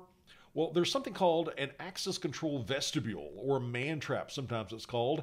This is a room that has two doors and it's set up such that for one door to, uh, if one door is open, the other door has to be closed. So there's no way for somebody just to sort of watch you go through uh, into the data center and they just kind of follow right behind you because before you open that door going into the data center in the you're in this vestibule the attacker if, if you're going into the data center, the door that the attacker would go through to get into the vestibule is closed. The only way for them to do it is to be in the vestibule with you at the same time. And they're to, and you're to like, who are you? So that's, uh, and sometimes there's a security guard in there and you have to show credentials to them before you can just wander in to a data center. And at the very least, let's lock our stuff up. Uh, personal confession time. I'm a big, uh, I'm a big fan of of physical security after an incident that I went through. When I was working at a university, we used, uh, back in those days, we had a lot of ATM equipment, asynchronous transfer mode equipment, along with Ethernet. And we had a, a bunch of extra gear, like maybe like $100,000 worth of extra ATM gear uh, in a server farm. Now, to get to the server farm, you had to walk through this uh, this computer training room that we had set up, and to get into that computer training room, you had to go down a hallway and through a door, and there was another door to get into that hallway. So you had to go through one hallway to get into the door, another uh, another door, or have to go through one door to get to the hallway. Then you go through a door to get to the training room. Then you have to get through another door to get to the server farm. So I thought nobody's going to wander all the way back there. Our stuff is secure in the server farm. No need to lock it up because who's going to go through three doors and wander around to get that? Somebody did because my, I mean, my fault. I'll take responsibility because I was a network manager. I will. I did not have all the doors secured, and um, somebody walked out with a lot of ATM equipment. So yikes, that one that one stung. I don't want you to be in that position. And when it's time to get rid of equipment, you don't want to just say, "All right, I did a format on my C drive. It's good to go," and you give it somewhere. No, just because you like do a format on your C drive, that does not mean you've erased all the data you've erased the uh, you've erased the index basically of the files on that hard drive. So you want to wipe out any configuration that you have. If you have a device where you can do a, a factory default reset, you should do that. Uh, you should sanitize the device. Now, if I'm getting rid of a computer and uh, nobody else is going to use it, I'm just disposing of it. I've done this so many times. I'll find a nice concrete floor and I'll find a big hammer and I'll put the hard drive on the floor and I will just I'll just beat it until it rattles. and um, that's one way of making sure nobody's ever going to read that data. But let's say you are wanting to transfer a system to somebody else and you do want them to be able to use that hard drive. You don't want to take a hammer to it. What can you do? Uh, again, just formatting it. That's not what, that's not, doesn't do it. I like to use something called uh, uh, DBN. It's called uh, Darik's uh, Boot and Nuke, and uh, you can boot up on this uh, this USB key or a DVD or CD, you can boot up on this, and it's going to not just erase your hard drive. You can do several, several passes over that hard drive where it's just going to write some like random ones and zeros to it. So it's not just like formatting where we're, we're erasing the index of what's on there. No, it actually overwrites everything on there, and it can overwrite it multiple times. And uh, yeah, that's if I'm reusing a system and I'm going to transfer it to somebody else, I'll frequently use uh, DBN, Darik's uh, Boot and Nuke. So that's a look at physical security. Next up is the Internet of Things and cloud security. Things that we didn't really, th- I didn't think about these uh, 10 years ago as much, but we have to today. You see, IoT, Internet of Things devices, think about the ones that you have in your home. You might want to chat it in. What sort of IoT devices do you have? I'll, I'll give you a sampling in my home. We've got doorbells, we've got uh, video cameras, uh, I've got a TV, my refrigerator can tell me if uh, it. I finally turned it off. It was annoying. Uh, if somebody leaves the refrigerator door open too long, it would pop up a message on my television. Uh, the range, um, just all kinds of things. Uh, I've got a, a Dyson fan. It just goes on and on. Uh, light bulbs that we have uh, that are Internet of Things devices. It's super convenient. I love that we can set schedules on how the lights come on, and I can see the I can see all around the house if I'm away from the, the house. But you know what? All those devices, do you know a lot about them? Have you ever done a firmware update on your IoT light bulb, for example? Maybe not. There can be a lot of security holes when we introduce we're poking holes when we introduce these IoT devices because a lot of these devices, their security was not foremost on the designer's mind when they made those devices. And we talked about processing power and uh, versus encryption uh, strength. Yeah, a lot of those devices, if they are encrypting at all, they use a weak encryption algorithm just so they don't, don't have to put a more powerful processor in that device and drive the cost up. And a lot of those devices have default passwords like your your video cameras or your uh, even your wireless routers and sometimes people don't do software updates. They might not be automatically deployed and do you really think to go update your light bulbs very often? I don't think of that. One of the most famous examples of somebody taking advantage of an iot uh, security vulnerability was a distributed denial of service attack. This happened back in october of 2016 and remember where we talked about how an attacker could, uh, using malware, infect a bunch of computers and they became bots or zombies? Well, in this case, the attacker sort of scoured the internet looking for uh, video, uh, IP based video cameras, like home surveillance cameras, and wireless routers that were set to their default credentials. So many people just unbox them, plug them in, they left them at their default credentials. So the attacker, just trying all these video cameras and all these wireless routers and attempting to log in with default credentials, was able to log into a lot of them. So at their at their beck and call, this attacker had all these cameras and all these uh, wireless routers around the world, and the attacker had them simultaneously attack this uh, DNS server, which one one of the DNS uh, one of the sites that that DNS server was servicing was Twitter. It actually brought Twitter down for a large portion of the world in October of 20, uh, 2016 because somebody just logged into all these IoT devices using default credentials. So, what should we do? Definitely don't leave things at their default passwords. And when you change the password, make it a strong password. And something that I recommend is putting your IoT devices in their own VLAN. So, here's the thing even if I have a firewall set up, and the firewall is not going to allow anyone on the internet to come into my network if the session initiates out on the internet. I've got all these IoT devices. I don't know about these manufacturers. I didn't buy my light bulb from Cisco. I bought it from some other some vendor I've never heard of. Who knows? Could that vendor create malware inside of that bulb or could somebody maliciously have have pre-injected malware inside that light bulb that's now hanging outside my garage if they did it's on the inside of my network and it could go out to the internet and start reporting information and start trying to scour the rest of my network it's on the inside so it does have permission to have bidirectional communication with the internet my light bulb could I don't want my light bulb scanning around and trying to, to get into my Linux file systems. So what do we do? We put them on their own VLAN. It's almost like having a guest wireless LAN just for IoT devices. This is something I'll frequently do when I'm setting up Wi-Fi. Let's put them on their own Wi-Fi network. Uh, don't just not just a different name, actually a different subnet. So you can have you, you can have this demarcation point between your IoT devices and the rest of your network devices. Cloud security, that's a big concern these days that I didn't used to think about because I, the, the networks that I grew up in had server farms or data centers. Data was stored locally. But over the past really the past decade or so, there's the, been this mass exodus of data going from our on-site data centers out to the cloud. After all, we move our data to servers in the cloud. Those can be uh, virtual machines. We can spin up servers as we need them. We don't have to buy the hardware. We don't have to maintain the hardware. We don't have to provide redundant power to the hardware. We just pay for the, the power, the processing power, and the storage resources that we need at any given moment. It's, it's great.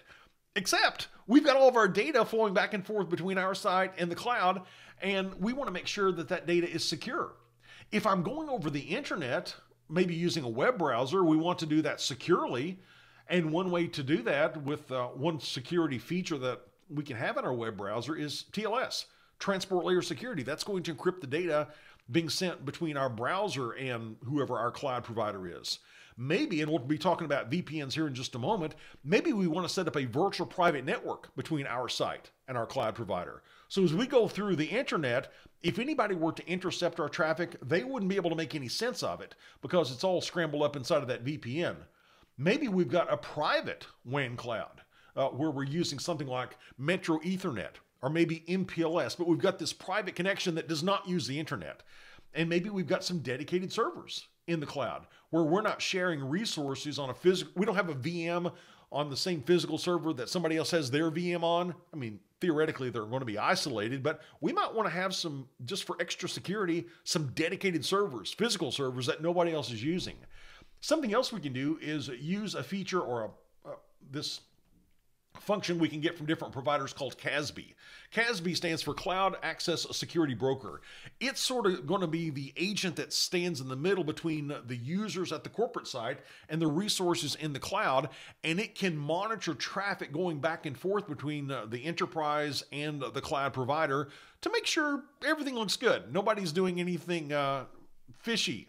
And if there is malicious activity, it can report that to us. So that's a look at better securing the internet and our, our, the Internet of Things devices we have and our cloud. And in our final module, that's right, we finally reached the final module. Let's see, I was estimating we'd go about five hours today. I'm just doing a projection here. Uh, we're going to be maybe just a hair over four hours, it looks like. Between four and five hours looks like where we're going to land today. But let's take a look at our final module at VPNs, Virtual Private Networks. First, let's distinguish between remote access and site-to-site VPNs. A remote access VPN is where we've got, let's see, here's my laptop. I've got my laptop. This is one of the, the new uh, MacBook Airs, and this color, they say it has bad fingerprint problems. I don't know if you can see it, but uh, they're not kidding. It sure does. But I, I, love my laptop, and if I'm on the road and I want to communicate securely back with another system, I've got VPN software on here. I can set up a, a VPN. Uh, the um, the appliance in my home has a VPN server built into it. So I can set up a uh, secure connection between whatever hotel room I'm in and uh, the security appliance in my home. And uh, yeah, it's all encrypted through the internet. But I've got to have software on my laptop to do that. Uh, but if I do, I mean, it's a great solution. I'm not bound by physical location and I can be encrypted. Uh, I can have encrypted traffic sent over the internet. And uh, it doesn't even have to be necessarily software that I install. I could use uh, clientless uh, SSL, where you go to a portal and uh, you get through a web interface, you get secure access to selected resources at a site. But normally we're installing a software VPN on a system, and that's that's a little extra work. So what we might do if we just want to connect two offices together, we've got a branch office and the main office, the headquarters. What we could do is have the routers at those sites act as the endpoints in this VPN tunnel. So all the devices at the different sites this is transparent to them. They don't have to install uh, they don't have to install VPN software. They just talk normally to their router. They want to go back to the headquarters, no problem. The router is going to get them there, but there's configuration in the routers that are going that's going to encrypt the data going back and forth between those sites. That is a site-to-site VPN. And I remember used to uh, back in the 90s when I would work with a client that wanted to connect sites together you're probably looking at something like getting a VPN, uh, not a VPN, but a, a frame relay connection. Uh, I've worked on more of those than I than I care to think about. A frame relay connection, or maybe an ATM connection if you're really bougie back in the day, or, or maybe a, a direct uh, T1 link between a couple of sites. All those options were really expensive. Now we've got fairly low cost access to the internet. I mean, I think I pay $100 a month in my home uh, for AT&T fiber and it's a gig. It's a gig up and down. That's unheard of back when I was hooking up these uh, these businesses back in the day. Yeah, yeah, it's really inexpensive and really fast for a lot of locations to get to the internet. Let's use that, but let's do it securely with a VPN. And that's what we can do with the site to site VPN. And again, this is going to be transparent to our end devices. Now, what I want to do now, and you might want to take some, you do want to take some notes on this, I'll just tell you. I want to talk about two different VPN protocols. GRE, generic routing encapsulation, and IPsec, short for IP security. First, let's consider the protocol of GRE, a GRE tunnel. A GRE tunnel is super flexible in that just about any kind of uh, any kind of packet we can put uh, send out of a router interface, we can put that in a GRE tunnel. There's going to be a GRE packet that wraps it up. I don't care if it's unicast, broadcast, multicast. I don't care if it's the, I don't care if it's the old Novell uh, IPX or, or, AppleTalk. It doesn't matter. If you can send it out of a router interface, you're going to be able to encapsulate that inside of a GRE packet. It is super flexible. Awesome.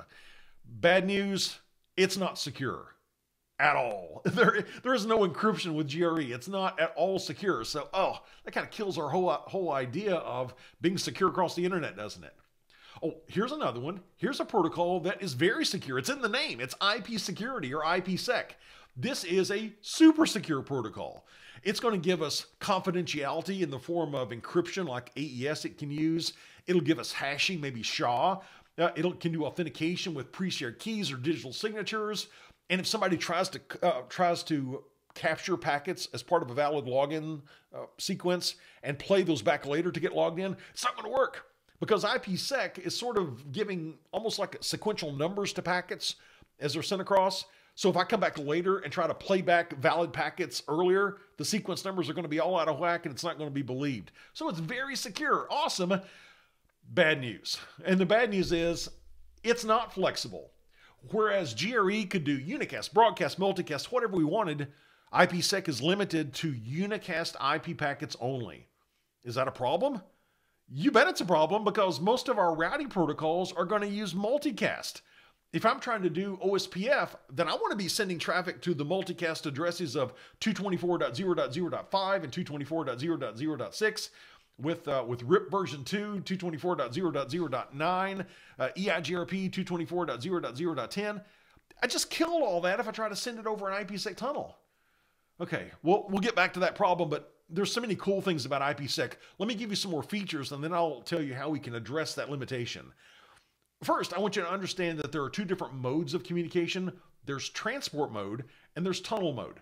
Now, this is a trade-off. You can have a little bit more security, but you get more overhead. Or you can have a little bit less security and less overhead. So it's a balancing act. What's more important to you? Transport mode is going to keep the original packet's header intact. So the original source and IP uh, destination IP addresses, they're still going to be there. They're going to be seen. However, with tunnel mode, we're encapsulating the entire packet, including the original source and destination IP addresses. That means that um, if somebody were to capture that packet and they were to look at the source and destination IPs, they wouldn't see the actual IPs of the actual systems involved in the conversation they would see the IP addresses of the um, of the endpoints of the VPN tunnel, like the routers, as an example. Um, yeah, we're adding header information, so there's more overhead, but a little bit better security. We could also use authentication or authentication and encryption. And we've got a couple of options here. We could do something called authentication header. It does not do encryption, but it does authenticate the entire IP packet, including the, the outer header. As compared to encapsulating security payload, it does perform encryption, but uh, it's not going to authenticate the header. It's just going to authenticate the packet. So what's more important to you? Typically, I'm going to go with ESP. That's what I, that's my normal go-to. Now, when we set up an IPsec tunnel, there are two steps involved. There's IKE Phase 1 and IKE Phase 2. Now, IKE, that stands for Internet Key Exchange. And in IKE Phase 1 is a metaphor. D- did you ever watch the old TV show? Uh, or now it's um, er, a few years ago, it came out as a movie with uh, Steve Carell, uh, Get Smart. Have you seen that one? I was a big fan of Get Smart on TV back in the back in the, the old days, and I love the movie. If you've not seen Get Smart with Steve Carell, it is hilarious. It is uh, it is fantastic.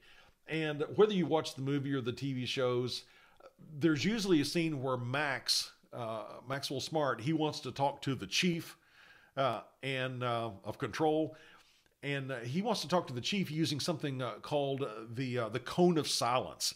And then the old TV show was like this big plastic thing that came over them over their heads, and it's like this sort of virtual bubble in the movie, but in the cone of silence, the idea is the two parties are going to be able to talk to one another and nobody else is going to be able to listen in. They're not going to be able to eavesdrop in on that conversation because they're under the cone of silence. Now, in the movies and the TV show, for you know, for the comedy aspect, it, it never works right. But that's kind of what's going on here with IPsec. IKE phase one, also known as the ISAKMP phase, is we're metaphorically lowering the cone of silence over these two endpoints. And that's going to give them a private communication channel. Now, what's going to be communicated over that private communication channel? Is it the data that we want to send? Not yet. We're going to use the security of that cone of silence, the IKE Phase 1 tunnel, to negotiate the parameters of the IKE Phase 2 tunnel, which is the actual IPsec tunnel. So we can say, all right, I support I support this set of features, this transform set. And I support this this encapsulation, or I, I, support this encryption protocol. I support this authentication protocol, or all, the things you support. Diffie-Hellman Group One, Two, whatever. All the parameters are going to be negotiated within the protection of IKE Phase One tunnels, and then once the two parties agree on what they're going to be using for encryption and for integrity, they're going to set up the IKE Phase Two tunnel. That's the IPsec tunnel where the actual data is going to be sent. But getting back to the big paradox we have. On the one hand, we've got GRE, super flexible, not secure. On the other hand, we've got IPsec, super secure, not flexible. It only supports unicast IP traffic. So what do we do? What if we do both? What if we do GRE and IPsec? Uh, here's what I mean. We can take our original packet. I don't care if it's multicast, unicast, broadcast, whatever. We're going to take that original packet and encapsulate it inside of a GRE packet. What is a GRE packet? It's a unicast IP packet. Do you see where I'm going with this? I'm going to take that unicast IP packet and then protect it with the security of an IPsec tunnel. So we take whatever, wrap it up in a unicast IP packet, a GRE packet which can then be put inside of the IPsec tunnel. So we're going to use both. We're going to use the best of both worlds here. And that's called GRE over IPsec. And I, I was originally planning to demonstrate creating a GRE over IPsec tunnel with you today. And then I realized that our session's going to be getting close to five hours. And if I added a couple of extra demos, we're looking at another hour. And then I remembered, you know what? I've got a, I've got a YouTube video where I'm setting this up. So I created a little link for you that'll take you to a page with a couple of demos that I just didn't want to spend class time on today. But if you go to kwtrain.com slash VPN demos, the first video on that page is going to be GRE over IPsec. And I show you step by step how to set up what we just talked about in theory, and we test it out. Uh, the other video is going to be on the last topic we have coming up in just a moment, and that's dynamic multi-point VPNs. I, um, I set that up from scratch and talk, talk about how we verify that uh, type of VPN connection that's dynamically brought up. In fact, let's talk about that. Our final topic of the day is dynamic multi-point VPNs or DM VPNs. The idea is this. If I have a point to multi-point topology like this, maybe I have all these direct connections.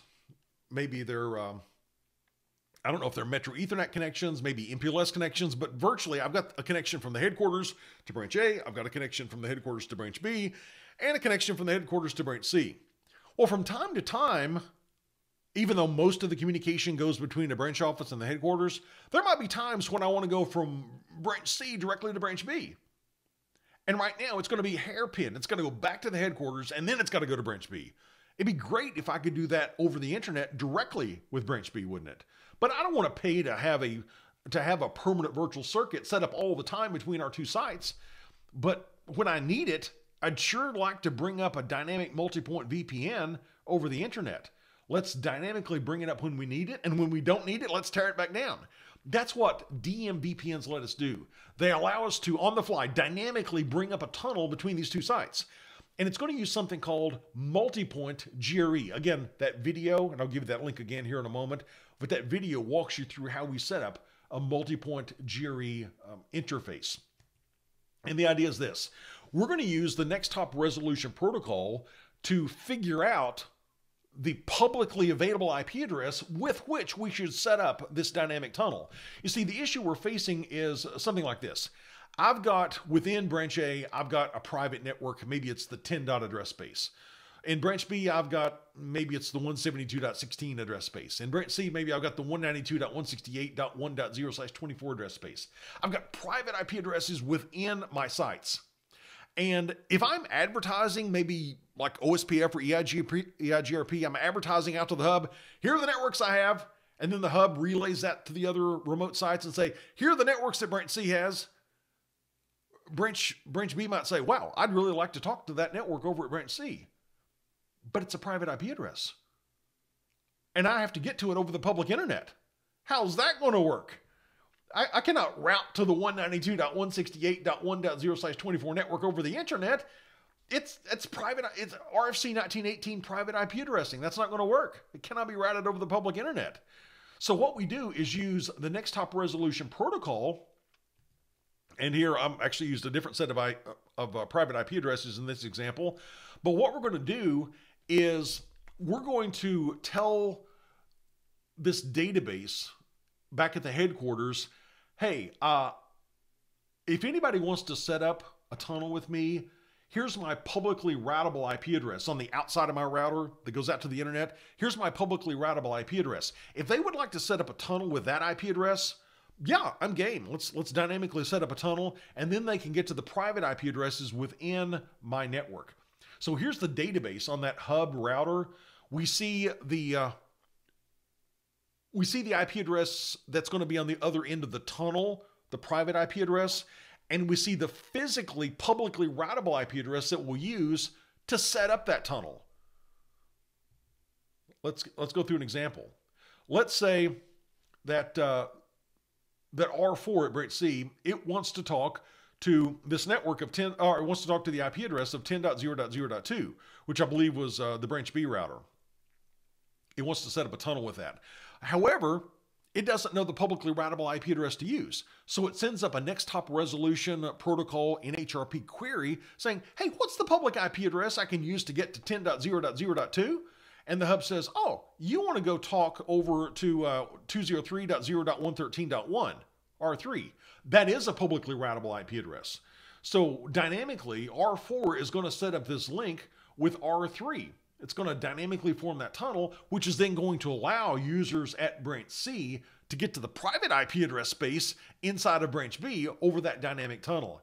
Again, if you want to see step by step how all that is set up, just go to kwtrain.com slash VPN hyphen demos. And I've got those two VPN demos on there for you. The first one, GRE over IPsec, and there's one on setting up dynamic multi-point VPNs it would have added probably more than an hour to have done all that live for you today. So we're already getting long, so we will go ahead and uh, let you watch those as homework. All right, folks, that is going to uh, that is going to wrap things up for our, our webcast. And for those of you watching us on the YouTube replay, I want to give you a big thank you for your huge time investment. I certainly hope it's been well worth it. We'll talk to you next time.